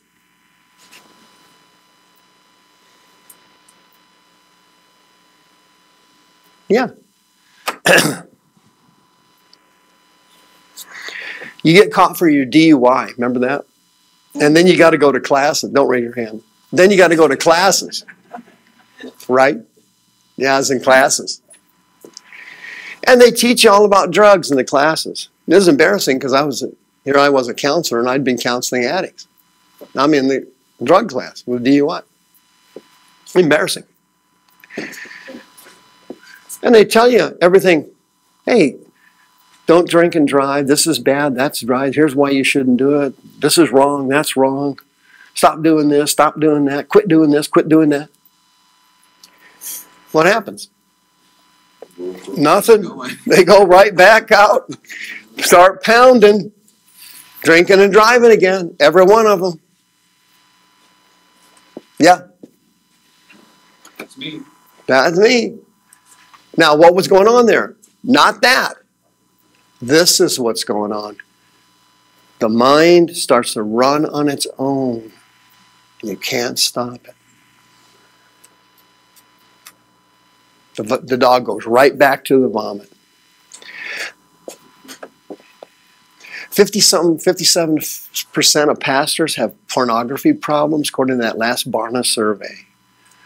What's going on there? I just told you. As you entertain lustful thoughts over a long period of time, it starts to develop a pattern of thinking, a habit, a symphony, a melody of processing in the mind. And then at some point, it runs on its own. Then it's constant sex, it's constant masturbation, it's constant because now it's running on its own. You don't have a choice anymore. You've heard a thousand sermons on it. Oh my God, pornography is sinful. It draws in demons. It's adultery in the eyes of God. You've heard all that crap. Hadn't done you any good. Why? It runs on its own now. There it goes. They all relapse. Yeah, including the Christian pornography, porno treatment Christian crusades, retreats. You ever heard of those? Oh, yeah, they take them out in the woods. yes, uh, those don't work. Why? The, the guys running the wood program don't understand that your mind, positively or negative, at some point will start to run on its own. And you determine which direction it goes.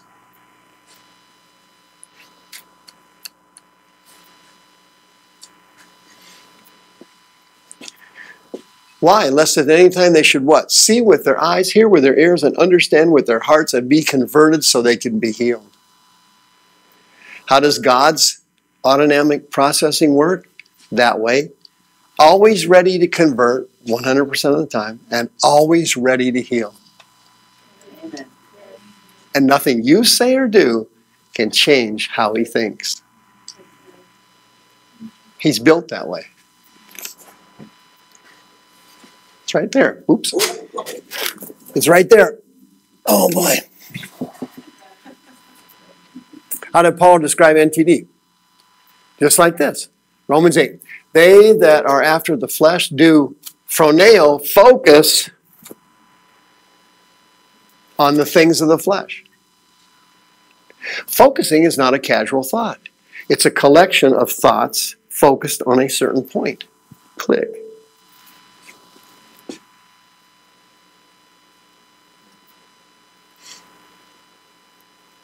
They that focus on things of the Spirit, they're different.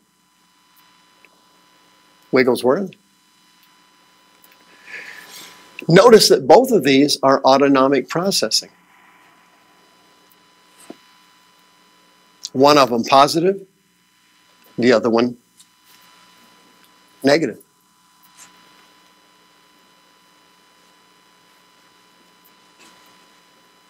To be sarx, fleshly focused, phronema, is death. To be spiritually focused is life and peace. Translation To have your whirlpool go spiritually is life and peace. To have the whirlpool go carnally is death.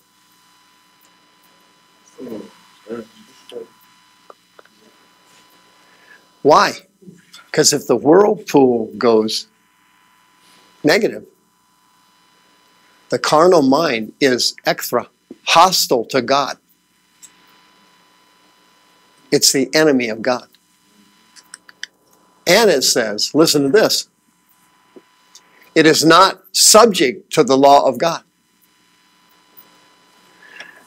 Once your mind starts to run on its own, no amount of preaching or teaching or begging or yelling or pleading is going to change it because now, like the universe, it runs on its own.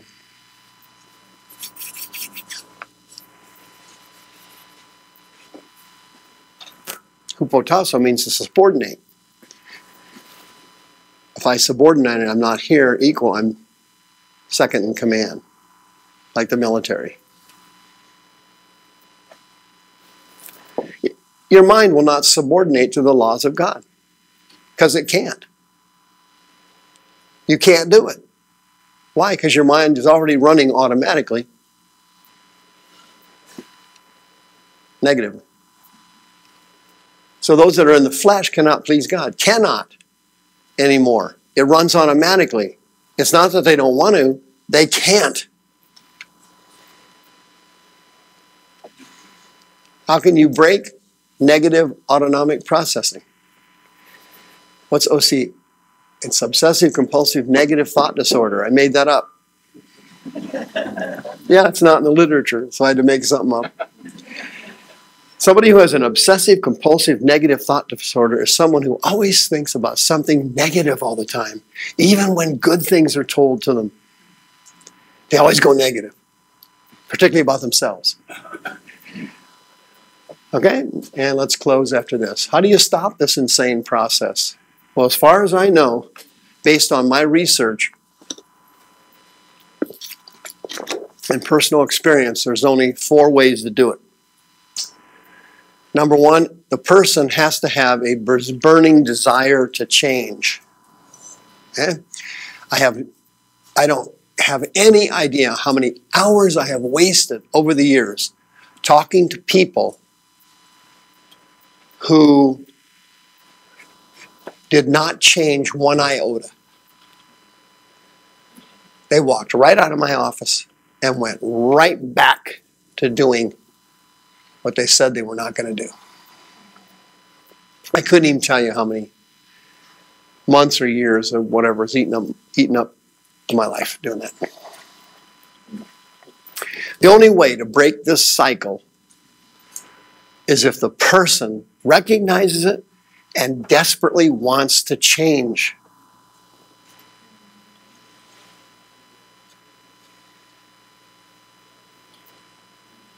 That's why you've tried so hard to help that person and seen nothing get better. Because they don't desperately want to change. If they don't, if I were you, I'd be careful about how much time and energy you spend on them. Number two, I've seen this process broken and the person freed through trauma. It's fabulous. Unfortunately, I, I hate to see it. They get sick, they get in a car accident, their spouse leaves them, somebody in the family dies, something happens to the person to shock them.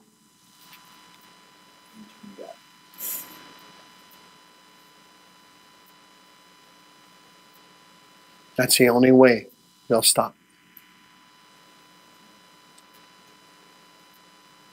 I tell them that too. In the counseling session, I've told them that. Listen, you're, you're not listening. I know what's wrong with you. It's, I know you're not going to change. You want to change. You'd like to change. But when you reach that point where your thoughts run on their own, wanting to change, wishing to change, and liking to change are not good enough. It can't stop it.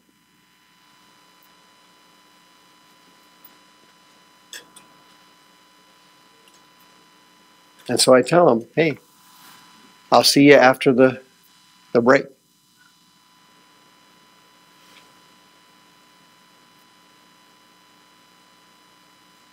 It's happened. I got calls from relatives or them. You won't believe what happened. I need to come in. What's the point I'm trying to make? Disasters can be your greatest blessing.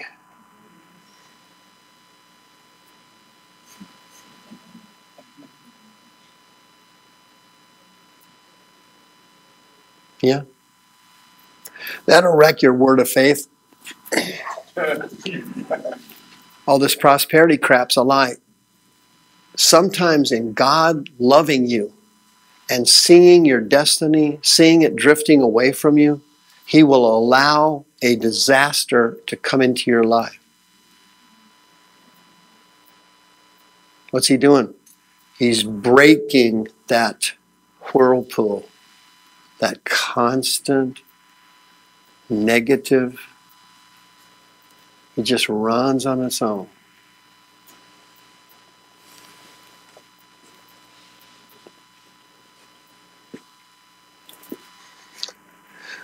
Number three, lower percent here.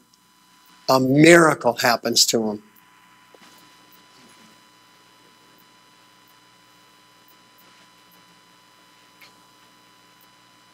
That's how I pray too. I talk to the Lord. I say, Father, I got a I got a whirlpool sitting in my office here. They're not listening.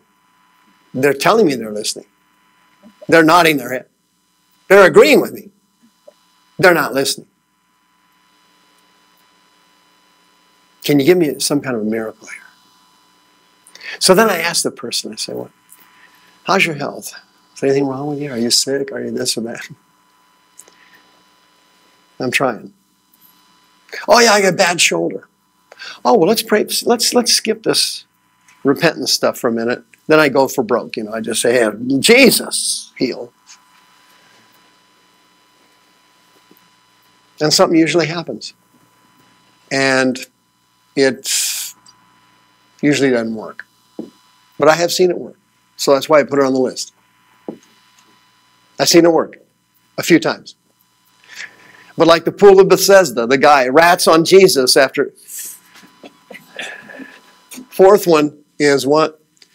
Yeah, I've seen this work several times. Check it out, I'll prove it to you. Mark chapter 5, a guy who's mentally ill still has, has a little bit of himself left.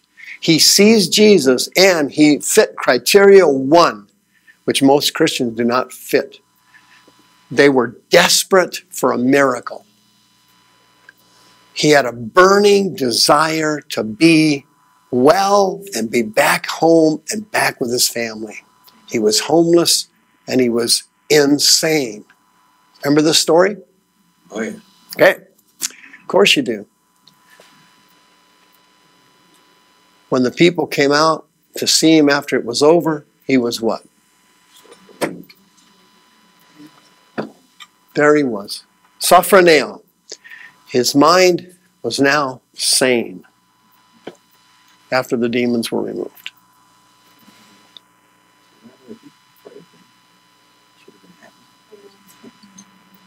People are always afraid of everything.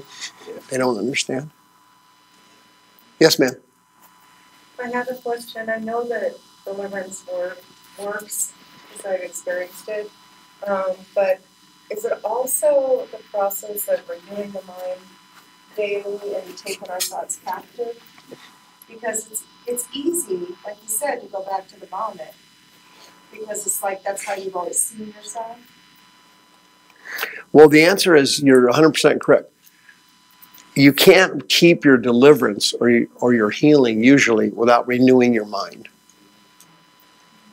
Renewing the mind is the most important aspect of it. That's why we put up the teaching videos. That's why I give the handouts. That's why we give away Bibles free. I mean, we're trying, you know. But there's nothing you can do for people who won't renew their minds. You can't force anybody to do anything, and, and I don't try to do it. You do that with relatives. Okay, let's check this one out. Here we go. A certain woman had been healed of evil spirits. Who was that? Mary Magdala. She was from Magdala, and that's what happened to her. She was completely healed and delivered. Why? Man, she was desperate. She had a burning desire to be healed. Okay? Now, let's take a poll here, real quick. Uh, raise your hands if you think you may have autonomic processing or a whirlpool in your mind. Your mind just goes to it, and there it runs, and you don't like it, you don't want it, but the darn thing keeps running. All right. Boy, it's amazing. All right, let's uh, let's go ahead to the altar call, please. Let's pray then. Father God, uh, I went over autonomic processing tonight, and I did the best I could to explain it slowly and thoroughly. Maybe I spent too much time doing it. If I did, I apologize for that. But I just took a poll and I got a result I wasn't expecting to see. There were a number of people raised their hands that have late stage pre mental illness. The next step from autonomic processing is mental illness, where the demons take the mind and the mind runs the way they want it to run. And Father God, I'm asking you tonight for a dispensation of grace be given to the Deliverance Center in Phoenix. I'm asking you right now for my friends on YouTube who have autonomic processing negatively in their mind, negative thoughts run on their own, even though they do not want them, even though they know the thoughts are wrong, even though they may now know they're not their thoughts. They're the thoughts of the spirits, but they still feel bad because of them. They still condemn themselves because of them.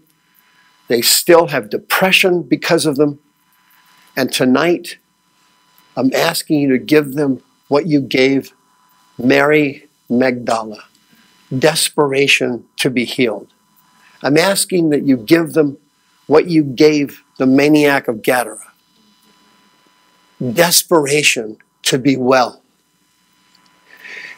I want you to help them, Lord, because I do not want my friends to have to face trauma in order to change. However, if that's the only possible way, they will change and fulfill their destiny. If that's the only way they can be healed, then I'm asking you to do it. But I would prefer that they come down to the altar tonight and fight these chronic negative thoughts that started in childhood, that started in their first marriage, wherever it st- started, whenever it started, and that they repent of it tonight and cast these seducing spirits out of their mind and drive these things out. Chronic negativity, leads to nightmares, bad dreams, repetitive bad dreams, depression, low self esteem, low self concept, and no faith. And it leads to doubt and unbelief. And tonight I'm asking the Lord for a miracle, a dispensation of grace of some kind for us. Where sin does abound, grace does more abound. And this, these brain demons need to be stopped tonight and driven out. And their minds need to be restored to their control and to the control of the Holy Spirit. I'm asking in Jesus' name for a miracle for my friends tonight without having them face trauma. I want you to help them repent. I want you to help them change and turn on this thing. I tried my best to explain it, but it's not going to do any good unless you bless them by a, rev- a revelation of how this works and why it works. That's what I need. That's what they need. Please help, Lord Jesus. Amen. Now, if you had raised your hand earlier and you had autonomic processing negatively, if you're like Wigglesworth, there's no reason for you to come down here. And you're desperate. And you're desperate. If you're not desperate yet, don't come down here. Now just get up real quick and come down so we can pray for you. You're desperate to have this automatic processing broken in your mind and you're you know you have it and your mind runs on its own. It runs on its own. And as he was saying earlier you get a trigger. Somebody okay? Your ex-husband or ex-wife cheated on you or ran off with somebody and you caught them. And as soon as that you see something that looks like them you hear something that looks like heard like that, all of a sudden, click, it triggers. And these thoughts start running about that person you don't like, about that incident. You start replaying it again. It runs on its own in your mind. That's autonomic processing. That's the devil. He using a trigger to get you to go back in time to relive a negative experience that God already forgave you for, that you already forgave them for, but he replays it again. Does that make sense? He's replaying a trigger. He's using a trigger to replay something negative. Then your emotions kick in from your soul and you start to feel bad. You feel depressed. You feel angry. You feel frustrated. You feel violated. You feel like there was no justice. You feel like you got screwed. The devil won again. He won again, right? That's how he does it. He uses a trigger to get you to reprocess that negativity. Right. All right, now close your eyes with me. Take a big breath and relax for a second. Thank you. Let's wait here for a second. The Holy Ghost come in. Thank you, sweet Holy Spirit. Father God, we've got mind control spirits here tonight. Sweet Holy Spirit, we got seducing spirits here tonight. We got the brain demons here tonight. The brain demons are here. They use triggers. They use triggers for drugs, for sex, for lust, for vengeance, for justice. They use triggers. Thank you, Jesus. Thank you, Jesus. Thank you, Jesus. Now, you people are standing right here. Raise your hand if you can, excuse me, speak in tongues. One, two, three, four, five, six. You speak in tongues?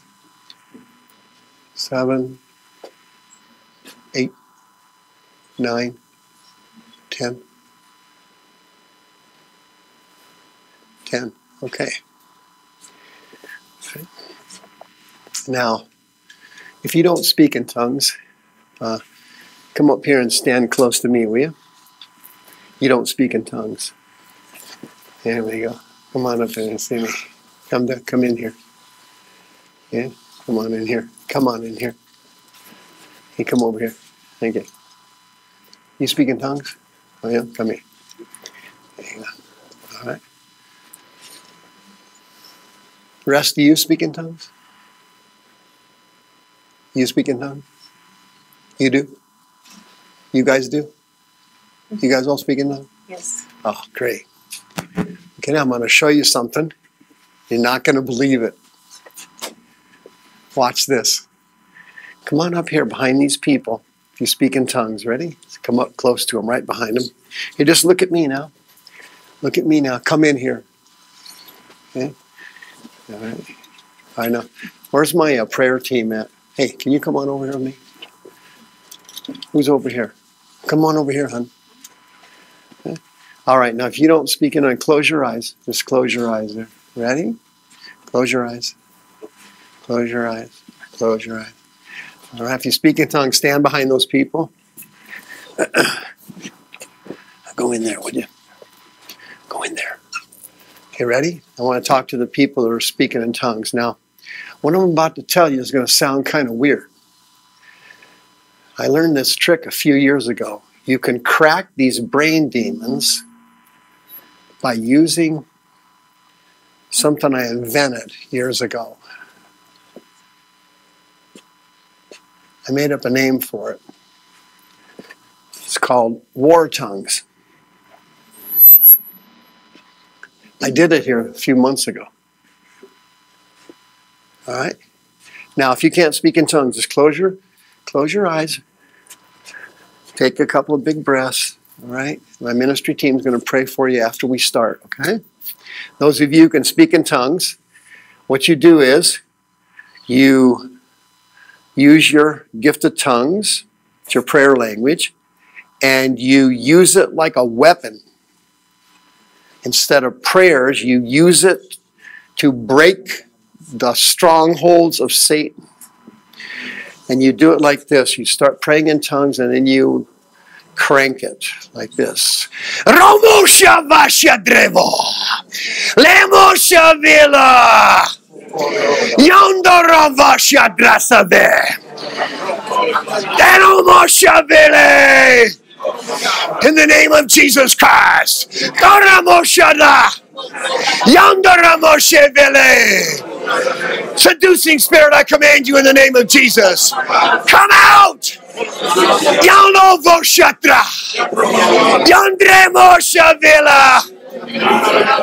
Orevala! Endore Moshavole! Come out in the name of Jesus Christ! Come out of my head! Get out of my head! Come out of my mind! Automatic processing, I command you, stop! In the name of Jesus. Louder. Fight back. Put your hands on your head. Come on. In the name of Jesus, come out! Come out of my head! Negative thoughts, come out! Come out in Jesus' mighty name. Come out. I said, come out. Yes. Hallelujah. Thank you. I said, come out. Come out. Come out. Come out. Out. Come out, I said. Come out. Come out. Come out of my head. Say it. Come out. Seducing spirit, come out of me. Say it. Come out. Come out. Romo Shavala. Come out. Come out.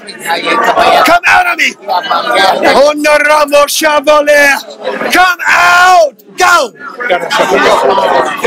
Come on, fight back. Fight back now. Come out in Jesus' name. Get out of my head. Come out. Spirit, I command you, come out of me. Seducing spirit, come out of my head. Come out now. Get out of my head now. Go now. Go. No, come out, I said. Big yawn. Good. Big one. Big yawn. Come out. Come out. There it is. Big yawn. Say it. Come out. Get out of my head. Come out. Come out of my body right now. Spirit of infirmity, come out of my legs. Spirit of infirmity, come out of my legs. Weakness, come out. Come out of me. Get out of my head. Come out. Get out of my head. Hating my wife, come out of my head. Cancer, come out of my body. Arguing with my kids, come out of my head. Pornography, come out. In the name of Jesus, come out now. Get out. Come out of me. Come out of me, I said. Come out. Come out of me. I command you to go. Come out of me. There it is. Come out, witchcraft. Come out, sin and evil. Come out, anger. Come out, vengeance, jealousy, envy. Come out. Come out, I said. Lust, drugs, hateful thoughts, cursing thoughts, lying thoughts. Come out. Come out of my head. Come out of my head right now. Say that. Come out of my head. Get out. Come out of my head. Come out of my head, I said. Come out of my head now. Say it. Come out of my head. Say it. Get out of my head. Honey, the anointing. Use it. Go. Go, honey. Use it. Use the anointing. Satan, let go of my mind right now. Say that. Say it. Satan, let go of my mind. Say it. Come out. Good. Say that. Come out of my head. Get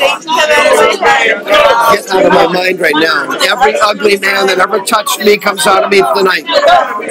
All of them. Come out. All the bad men come out of me right now. All of them. All of them come out of me. Come out. Come out. Come out. Get out of my head, you sinking demon. All the bad men come out now. All the disappointments, all the people that betrayed me, all the betrayers come out of me right now. Come out. Get out of my head right now. Get out. It's a spirit in your brain. Get him out. In the name of Jesus, I command you, come out. Come out. Let your tears go. Don't hold back. Let your tears go. Don't hold back. Come out. Come on, sweetie. Let your tears go. Come out in Jesus' mighty name. Everybody that heard it comes out tonight. All of them. Get out of my head right this second. Unforgiveness. Get out of my head. Get out of my mind in Jesus' name. Come on. Get out. Out of my head. Get out of my body right now. Go. Heart, unforgiveness of self. I repent of it. I repent. Hating myself. Criticizing myself. Adultery. Fornication. Come out. Come out. Get out of there. You get out of me right now. I command you to go. I'm telling you to go right now. Get out of my body right now. Go on. Come out. Come out. Come out. Go. Come out. Come out of there. All the negative thoughts about myself, I command you to come out. I command you to come out now. Come out. Every negative thought. All of them. All of them. Get out of my head. Get out right now. Come on. Come on, let your tears go. Come on, sweetie. Come on. Open your heart. Come out. Come out. Come on. You got to get all those people that hurt you out.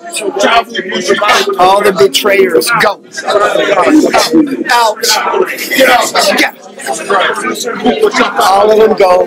He goes. She goes. The whole crew goes. All of them now. This is the last night. Go now. All of them. Right now. Right now, I command them to go. I command you to go. Go. There it is. Come out. Come out. Go. Out. Spirit. Out. Out. All of them. All the bad men. All the cheaters and liars. All of them. They all go now. They all go now. They all go now. Come on, all of them. They all go tonight. I command you, devil, come out of my body right now. Get out right now.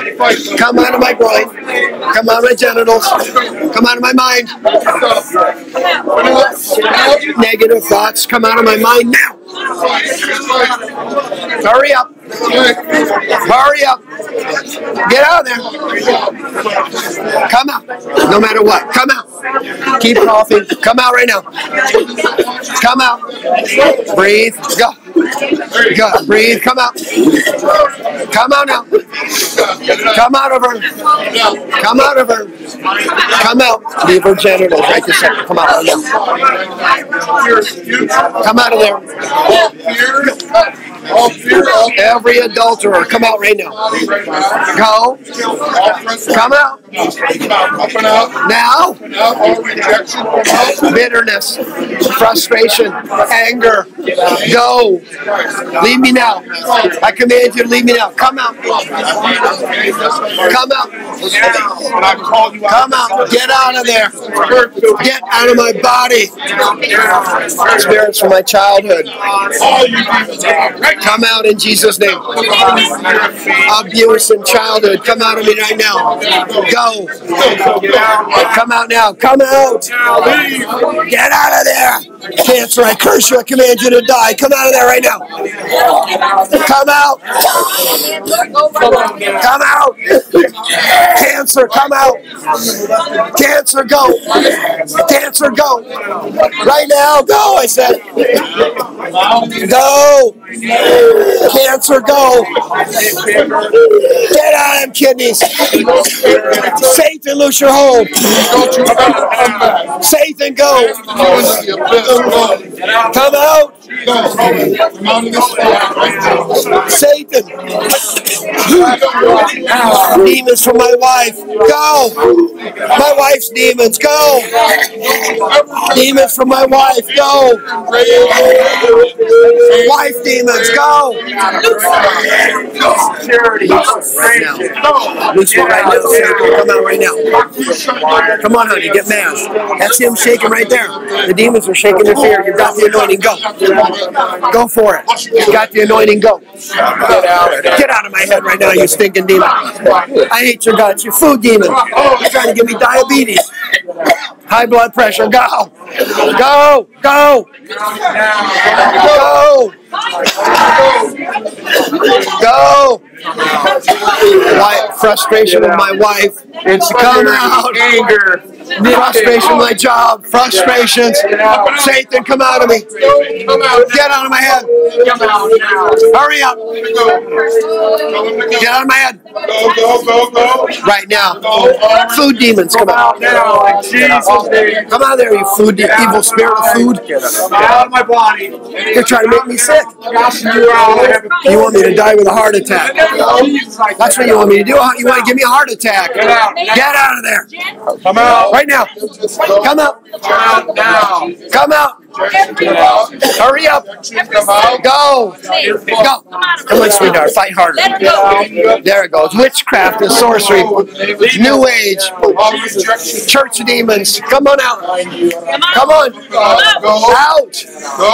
Out. Take a breath and blow. Name of Jesus. Good girl. Come out right now. Go. Stop fighting. Come out. Go. Who hurt you, hon?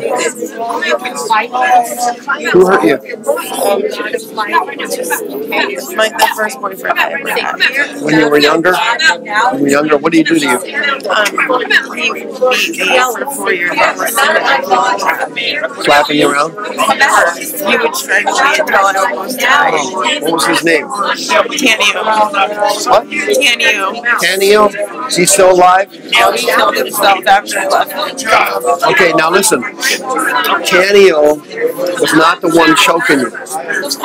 He was diagnosed with split personality disorder. He was diagnosed with dissociative identity disorder. Okay, now he didn't have disassociate. Those were other personalities from the spirit world that were living in his head. And they told him they wanted you dead. They told him that. He used to battle. To talk. He would talk about how he battled with things in his mind. It wasn't things, it was person. It was a person. And I feel like ever since he, I feel like ever since he died, I feel like I have privilege. Yes, you do because they left his body. When somebody with demons dies, they leave that body and then they go to the next uh, easy source to get into, usually the victim. I've been worried about that for a long time. Yeah, you should be worried about it. What was his name? Tanny. Tanya, raise your hands. Now close your eyes. Now just take a big breath. Breathe. Breathe. Father God, in the name of Jesus, I lift this beautiful woman up to you right now. She was physically, emotionally, and spiritually abused by Tanio. But it never was Tanio. The demons took him when he was a child and they told him to kill her. They told him to strangle her. And she thought it was him. She was deceived. And right now, we are going to forgive Tanio and release him from her soul. She's going to forgive him, even though he's not alive anymore. If he was here, we would both forgive him. And we would turn him over to you, Lord. And she's going to forgive him right now. In Jesus' name, I forgive Tanio.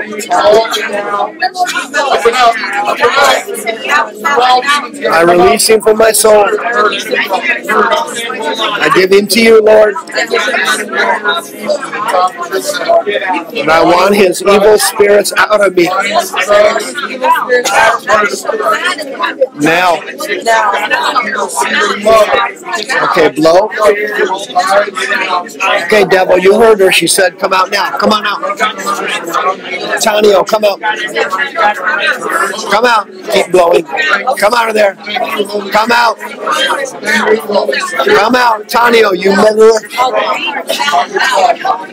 Tanio, come out now. Come out. Get out of my body right now. Go. Come out of my lungs. Come out. I release him from my soul. I release him from my soul. Go. Go. I release these wounds from these beatings and chokings. And I let them go. In the name of Jesus. I will place them on the cross of Calvary right now. right now. Come out of me. Come out. Right now. Get out of my body. Come out. Out my body. Come out. Let's go. Go. Go. Come out. What's he doing? You sense anything? You have any bad feelings about him? just saying I forgave him in the wounds. I've never been able to do that. You what? I've never been able to say I forgive the things that I just forgave, and that felt better. Oh, really? Okay. I forgive the Oh, oh, that's a good sign. That's a Holy Spirit on you. Thank you, Jesus. Thank you, dear Lord. Raise your hands. Thank you, Jesus. I love you. Say that. Thank you, Jesus. Thank you, Jesus. Thank you for lifting him out of my soul right now. I release him from my soul right now. I let him go. Thank you, Jesus. Now all of his spirits leave me now. Come out. Who hurt you? You don't know. Were you were you married? No, Were you in witchcraft? New age? I was anything like new age. I followed ascended master teachings. Jesus took that from me. Yeah. Did you get rid of the spirits from that? I threw up once, but I I still have had that spell that was that just came over me when you guys started writing this thing that I go into. Yeah, Like, I don't that. He's still in there. Huh? He's in there. I know, I know it's still there. And All right. When I first came to Jesus, it, when I first very came to Jesus, it was over alcohol. I would go through these spells, but I'm 125 days clean from alcohol. But I still Okay. have this stuff in me, though. I know. What was the root of drinking? Why were you drinking? I don't know. I, I, There's a don't, reason I, I, I suffer from self hatred. I don't know where it comes from, but I just. I Why a don't you like guilty yourself? complex. Why? I don't know. I beat myself up. I don't even know why people ask me all the time. I wasn't uh, molested or anything. I had a good upbringing. I don't know where this comes from. What are you beating yourself up about? Thank you, Jesus. I don't like myself. I. I, I just don't, because I failed. Like I just like I failed people. Who'd you fail? I don't know. I just like I feel like I misled my sisters into smoking weed, and I just I. I just have this guilty conscience when it comes to stuff. You're, you're telling me you've got regrets. Yeah, I have, I have a lot of regrets. A lot of regrets. You look back on your life and you say, I should have done that, I should have done this, I shouldn't have done that, and I shouldn't have done. That- Now, when you came to Christ, did you know that uh, all those things disappeared? Did you know that? You did? I mean, I don't. bel- I, I know, you know, but I just I still don't forgive myself. I guess. Oh, yeah. You, you know it there, but you never knew it here. Failures and sins are all washed in the blood. But you're carrying your regrets from your past, and that's blocking your current deliverance. Go ahead and repent. Dear Jesus, I'm so sorry. Go ahead. Thank you, Jesus. Thank you, Jesus. Thank you, Lord. How are you feeling right now? A lot better? I really like the service. I, me and my husband, we live here and we want to start. Where's, who's your husband? How's your husband? We want to start coming for families. Nice to meet you. Really enjoyed the service. Now, what's wrong with your husband? Huh? What's wrong with your husband? He's got some personal issues that he should probably talk. He has a very deep childhood issue that he needs to talk with someone about himself. Somebody abused you when he was a kid? Okay. Now, who abused you? Who abused you? Um, my cousin, my older cousin when I was younger, How old were you? like six, How old was he? um, like 13 or 14. Uh, was it fondling or anal intercourse or what did he do to you? It was like fondling. Okay. What was his name? Bryson. Bryson. Okay. Whenever somebody gets a, molested as a child, the person that's molesting them transfers a spirit in their body.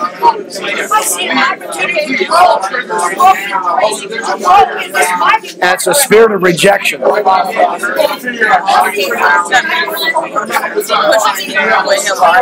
tends to push people away a lot. That sounds really understanding. It's it's not him. Yeah. Yeah. There's actually nothing wrong with him. There's nothing wrong with him. His cousin transferred a rejection spirit in there. I am tired of his life. I am tired of his I'm tired of being I just want to be whole again. I am sick and tired, and I'm taking my money. He said, I want to be whole again. He's already whole. There's nothing wrong with him. The spirit of rejection is causing that negative feeling about himself. There's a person living in there. It's not you. See, what's your name? John. John is here, and the rejection spirit from the cousin is here. They're two different persons, right? You didn't marry him, you married him. You don't love him, you love him. Now, here's what you got to do. What was that cousin's name? Bryson. Bryson. Ready? Watch this. You just raise your hands like that. Father God, I bring to you your future Bible teacher. He's standing right here. He was abused as a child. Bryson, his demons told him to do something to him that was horrible. And it brought shame and fear into his soul. There it is, right there. You see him jump? You see that demon jump? Bryson, we forgive you tonight.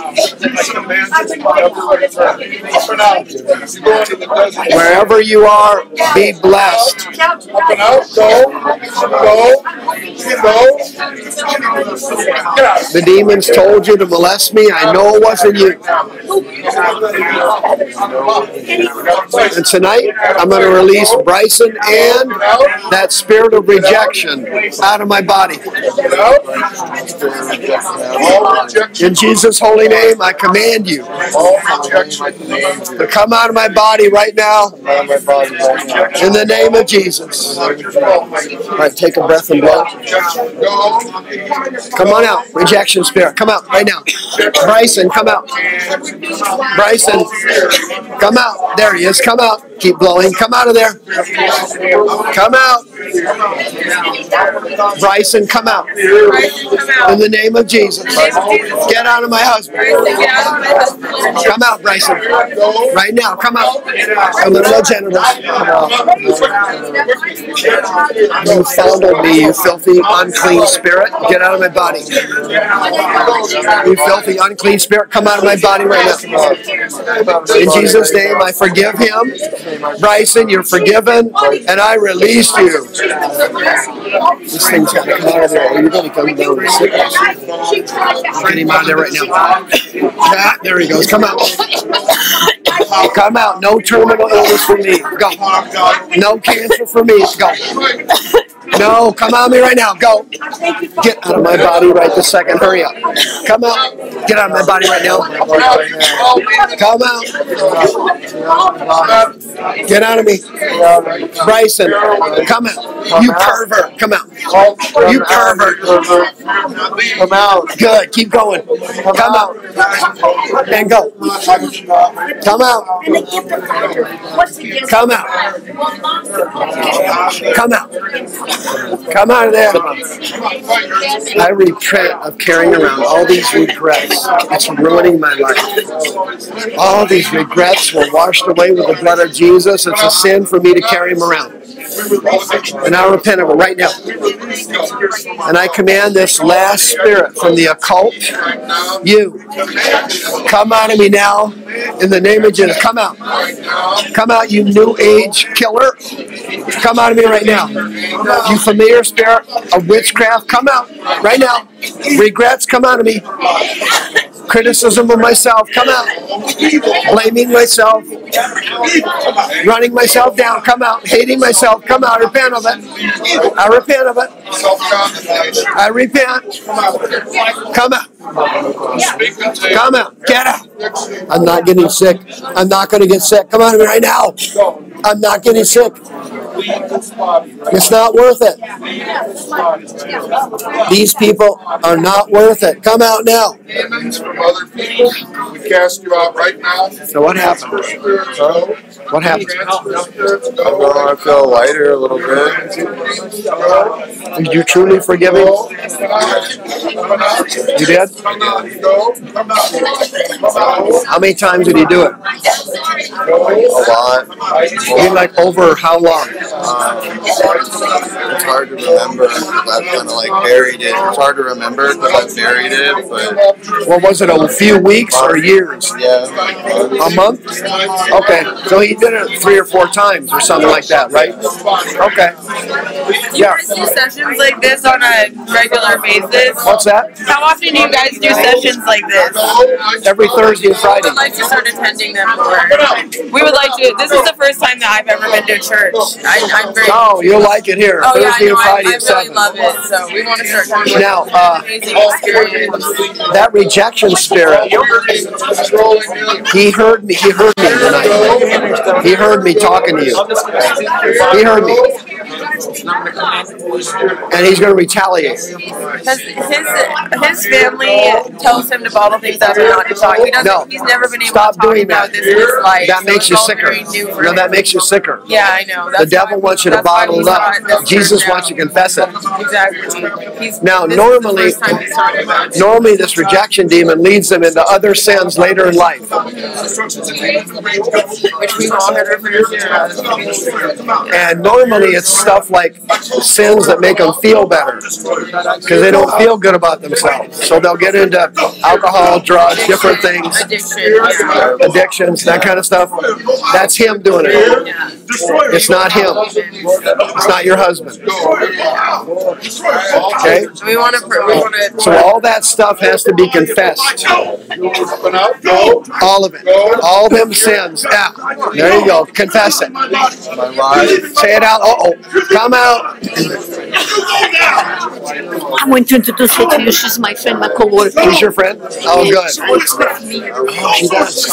What's her name? Oh, Odile. She's Oh, dude. Oh, She knows. I want, I want to talk She got witchcraft. Where's she from? She's from Africa. I, I don't remember the name of the country. But She's from, she's from Africa. I confess all these evil sins that I got involved in, Lord. I'm so sorry. Drinking, drugs, pornography, chronic masturbation, all of it. I repent of all of it. All of these sins. Come on, just confess it. Just confess. Just confess it. Just confess it. Lord Jesus, I'm sorry for my sins. I'm asking you to forgive me. I'm sorry for my anger. I'm sorry for cursing and swearing. I'm sorry for chronic masturbation and pornography. I'm sorry. Have mercy on me, Lord. I'm sorry. So sorry. I'm so sorry. Just repent of it. I'm so sorry. Just repent of it. Repent of it. Just repent of it. Thank you, Jesus. Just repent of it. Go. I repent in Jesus' mighty name. Go, addictions go. Go up and up. Come on, buddy. You're right there. Let's go. Get it out. Get it out. Get it out. Come No, You just do what he tells you. Do everything he Get it out. tells you. Get it out. I'm really sorry I hurt you, Lord. I'm so sorry. Mom and dad go. Come out. Mom and dad go. Get out of my body right now. Come out. Get out of my body. I hate you. He hates you. Yeah, that girl. I hate you. Come out of me. Right now, I hate Get out of girl. Get out of here. Forgive me, Jesus. Jesus, forgive me. Help me, Lord. Forgive me, Lord. Just confess it. I repent of my regrets. I repent of criticizing myself. I repent of not liking myself. I'll repent of it right now in Jesus' mighty name. I don't hate anybody that's saying that. I love you. Love you, America. Love you. I had a good memories. but Love you so much. Don't forget. That- Love you. I miss you. I miss you. Oh, man. Good to see you. My friend. Love you always, always. Oh, You yeah. know that. You know that. You know Thank that. you for coming back. Oh man, I'll be here next week. You got more stuff to get. I've God forgive me. God forgive me. Lord Jesus forgive me. Forgive me. Forgive me. Forgive me, Lord. Forgive me. God forgive me. Forgive me, Lord. Forgive me, Lord. I'm so sorry. I'm so sorry. Forgive me, Jesus. Lord Jesus, I'm so sorry. Forgive me. I'm so sorry. Forgive me. Forgive me. Get out of there. Come on. Come on, yawn. Go. There it comes. Good. Next one. Go. Out it comes. There it goes. Out it comes. Out it comes. Can you think of anything you need to apologize to her for? The lies, the lies, and all the pain that caused. Tell her. Tell her. Say it. Say it. Out of that body. Oh. Who's that girl? Uh, she got a lot of deliverance just now. What's wrong with her? She's just nothing. I, what I was calling out rejection and suicide and all that stuff. Oh, should I commit suicide? She didn't say she was, but it came out when I said it. Oh, how you feeling tonight? How you feeling? I'm feeling good. You doing good? Yeah, no. Who hurt you when you were young? My dad left me when I was young. Oh, how old were you? I, I was three. Three? What's your dad's name? Eddie. Here, raise your hands. What's your name? Violet. Okay, Lord Jesus, I got Violet here. And she's a beautiful woman. But when she was three years old, she got hurt really bad. Really bad. It wasn't her fault. It was not her fault. When her dad left her, a scar got in right here on her soul. And Lord Jesus, she and I tonight are going to forgive her dad for abandoning her and leaving her with illness of abandonment and rejection and low self esteem, self hatred, self criticism, and loneliness and fear. And we command her dad right now, there he is, here he comes. There he comes. To come out in Jesus' holy name. Come out of her. And her dad will leave her tonight. And we're going to replace her dad with her heavenly father. Who would never abandon her or hurt her in a million years. She's going to forgive her dad and release him. Come out. Out. Come out. I take a breath and blow. Come out of there. Come out right now. Come. Dad, I love you, but I have to let you go now. I'll let you go, Daddy. Come out. Come out. Come on, here he comes. Come out. Come out right now. Come out. Hurry up. Come out of there. Come out of there. You her? Hey, you know her? You know her? Oh, your uncle? Come out right now. Come out. Go. Come out right now. Go. Go. Dad, I love you, but I have to let you go. Come out. Come out. Come out. I forgive my dad and I let him go. Come out. I let my Heavenly Father in and my dad out. Out. Come out. Come out. Come out. Come out. Come out. Come out. Come out. Right now. Come out right now. Quickly. Come out. Come out. Go. Come out. I let my dad go now. Come out of me. Come out. Come out of me. Rejection and self rejection. Come out. Come out. Criticizing myself. Criticizing my body. Come out. Come out. Come out. How old is she? Uh, she's 15.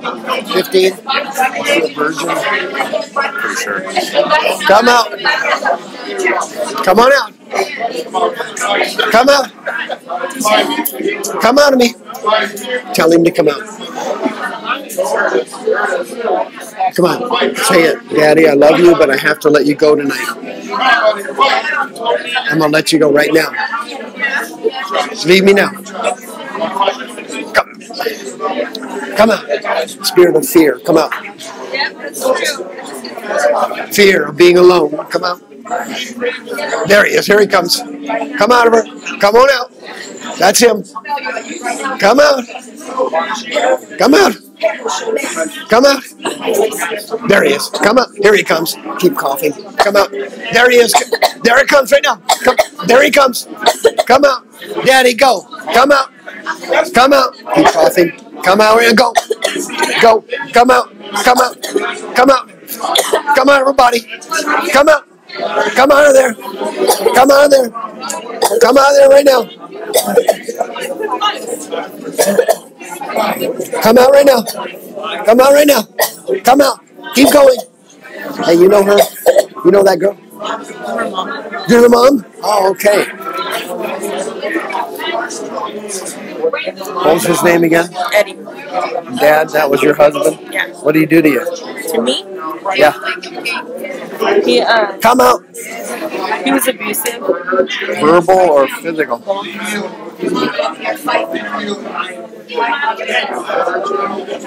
Where's he at? I don't know. Uh, what else did he do to you? Um, Come out right now. Go.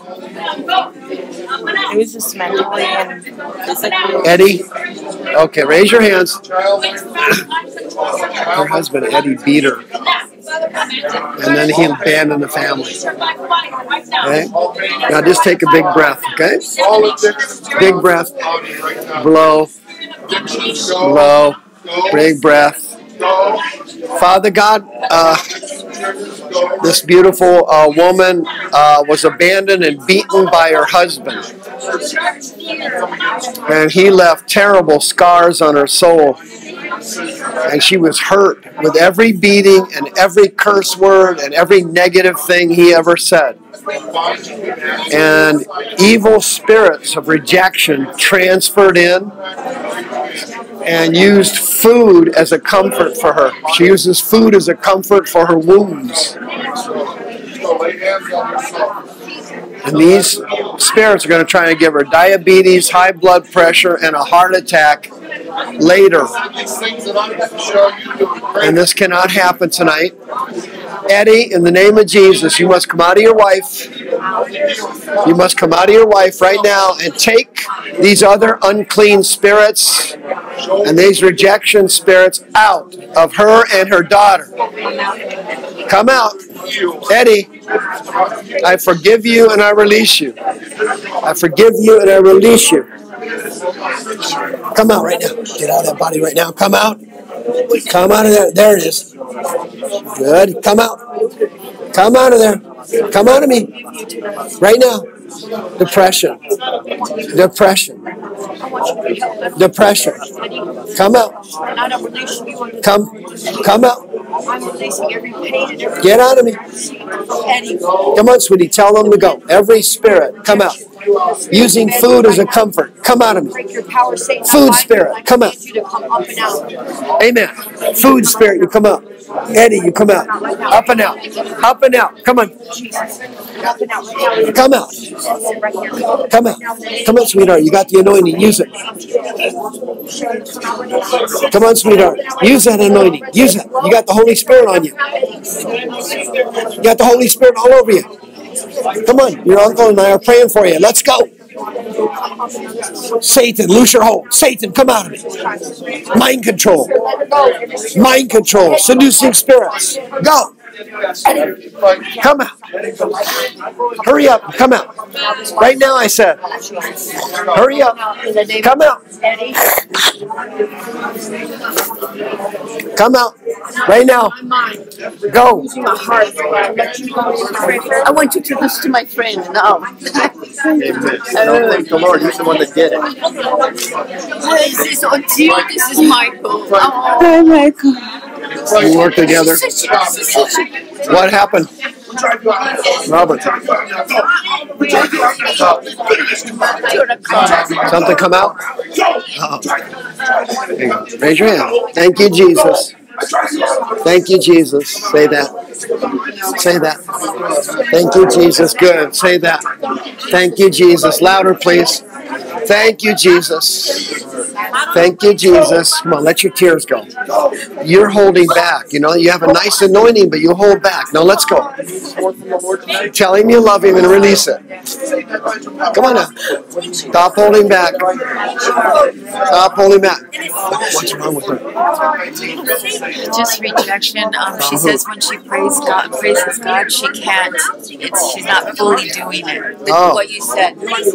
Hey, these are mind control spirits. They're trying to stop your praise. Okay, they're easy to beat. Watch this. Thank you, Jesus. There it is. Let that moan go. There, moan it out. Here it comes. Romans chapter 8 says you moan in the spirit. Go. There you go. Moan it out. Good girl. Come on. Keep going. Good.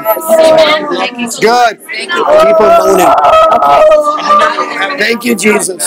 Thank you, Jesus. Glory to God. Thank you, Jesus. Glory to God. Help her. Thank you, Jesus. Glory to God. Thank you, Jesus. Hallelujah. Thank you, Jesus. Glory to God. Glory to God. Glory to God. Thank you, Jesus. How'd you do tonight? How'd you do tonight? Better? Worse? Worse or better? I got, I got that. The light, the, the light, feeling lightness. Lightness, that's better. Good. Now, you always have to end with praise. Ready? Go. Thank you, Jesus. Thank you, Jesus. Say it. Glory to God. Thank you, Jesus. Let your tears go. Thank you, Jesus. What's the scoop on this gal? Uh, she had been molested a bunch of times. Her mom was into witchcraft. What's her name? Do you remember? Rosa. Rosa, you got any bad feelings about your mother? No, I don't. How about your dad? No. How about yourself? No. Anybody? No. Okay. Were you in witchcraft? Yes. What'd you do? I Thank you for your prayers. Thank you. You gonna come back? We'll come back. I uh, at one Thanks for coming. Please come back. at one point What were you doing? uh, I was reading the cards. Oh, you read cards? Oh, now listen, reading cards is a very dangerous sin because it lets in familiar spirits and then they, they destroy the person's body and they get sick and die. Now you got to repent of that really, really hard. Raise your hands. Let go. Raise your hands. God forgive me. God forgive me for reading cards. I can't believe I did it. I can't believe I did that. God have mercy on my soul. God have mercy in my soul. Help me, Jesus. Help me, Jesus. I'm so sorry I done that. I'm so sorry. I renounce cards. I renounce. I renounce Satan and all his works. I renounce witchcraft and familiar spirits. I renounce witchcraft and familiar spirits. I command it to come out of my body. I command to I hate you now. Come out. Come out. There he is. Come out right now. Go. Come out of there. Come out. Come out. There he is right there. Come out. Come out. Come out. Yeah. Tarot cards go. Amen. Tarot cards of death. Amen. Here it goes. Tarot cards of death. There he goes. There he goes. There he goes. There he goes. Lose her body. Go. Release him right now. Go. Go. Get out. I drive you out. Come out. Come out. Come out. Come out. There it is. Come out. Come out. There he comes. Here he comes. Here he comes. There he comes. He's coming now. Keep coughing. Come out right now. Go. Come out of my legs. Come out of my legs. Come out of my legs and heal. Heal in Jesus' name. Come out of my legs. Come out of my arms. Come out of my arms right now. Come out. Come out. Go. Get out of the, Come out. Get out of that equilibrium. Get out of that body. Go. Go. There he comes. There he comes. There he comes. There he comes right there. Go. Come out of there, you witch. There he goes. There he goes. Come out. Go. Evil. Evil. Evil. Go. Come out.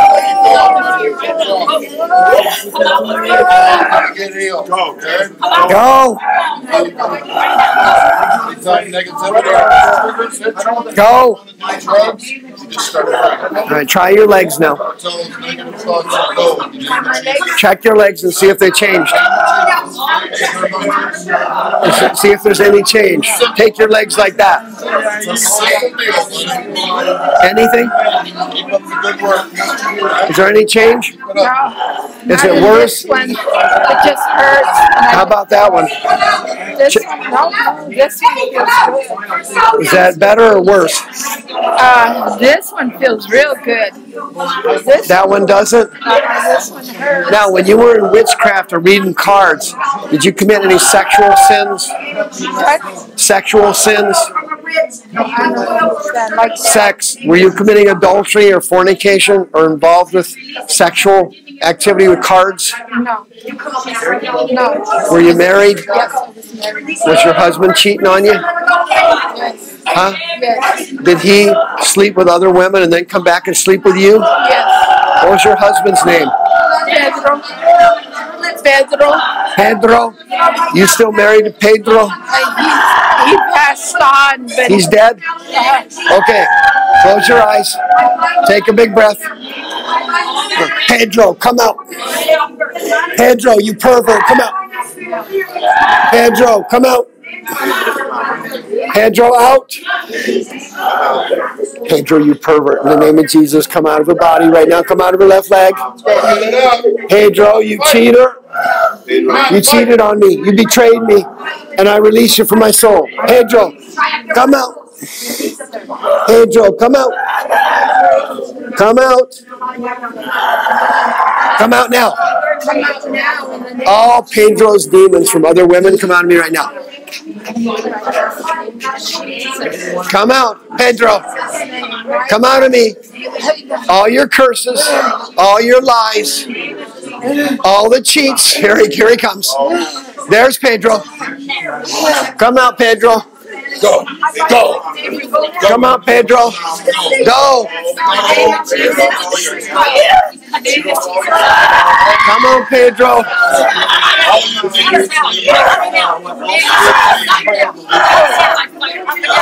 Hey, uh, right on.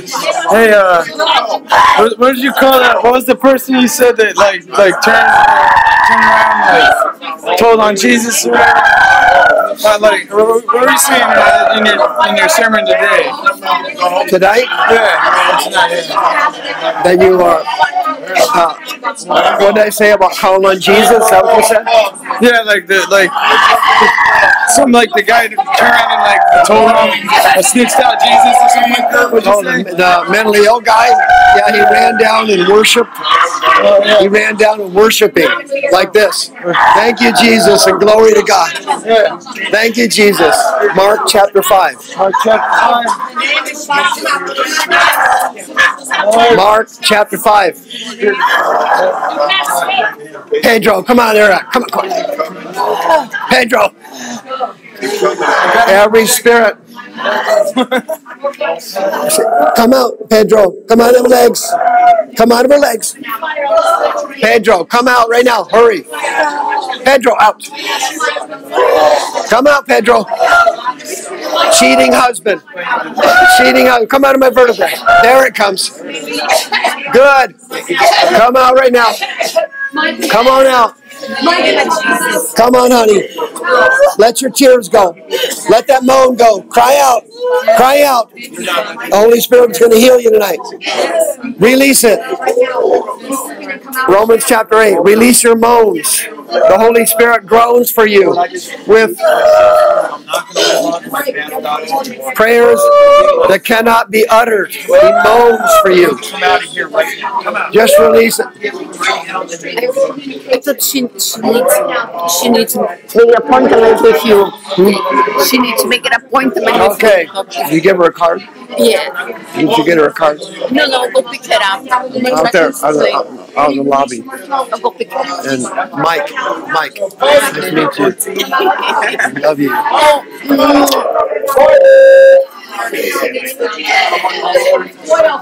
Love you. I love you too. Oh my God, I have a lot of control. How you doing? How'd it go?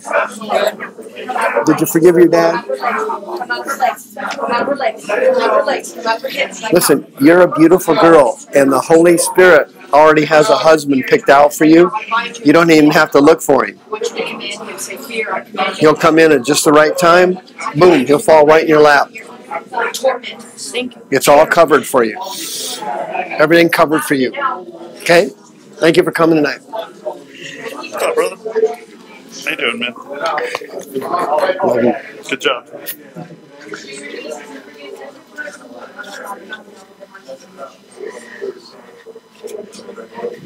What a night.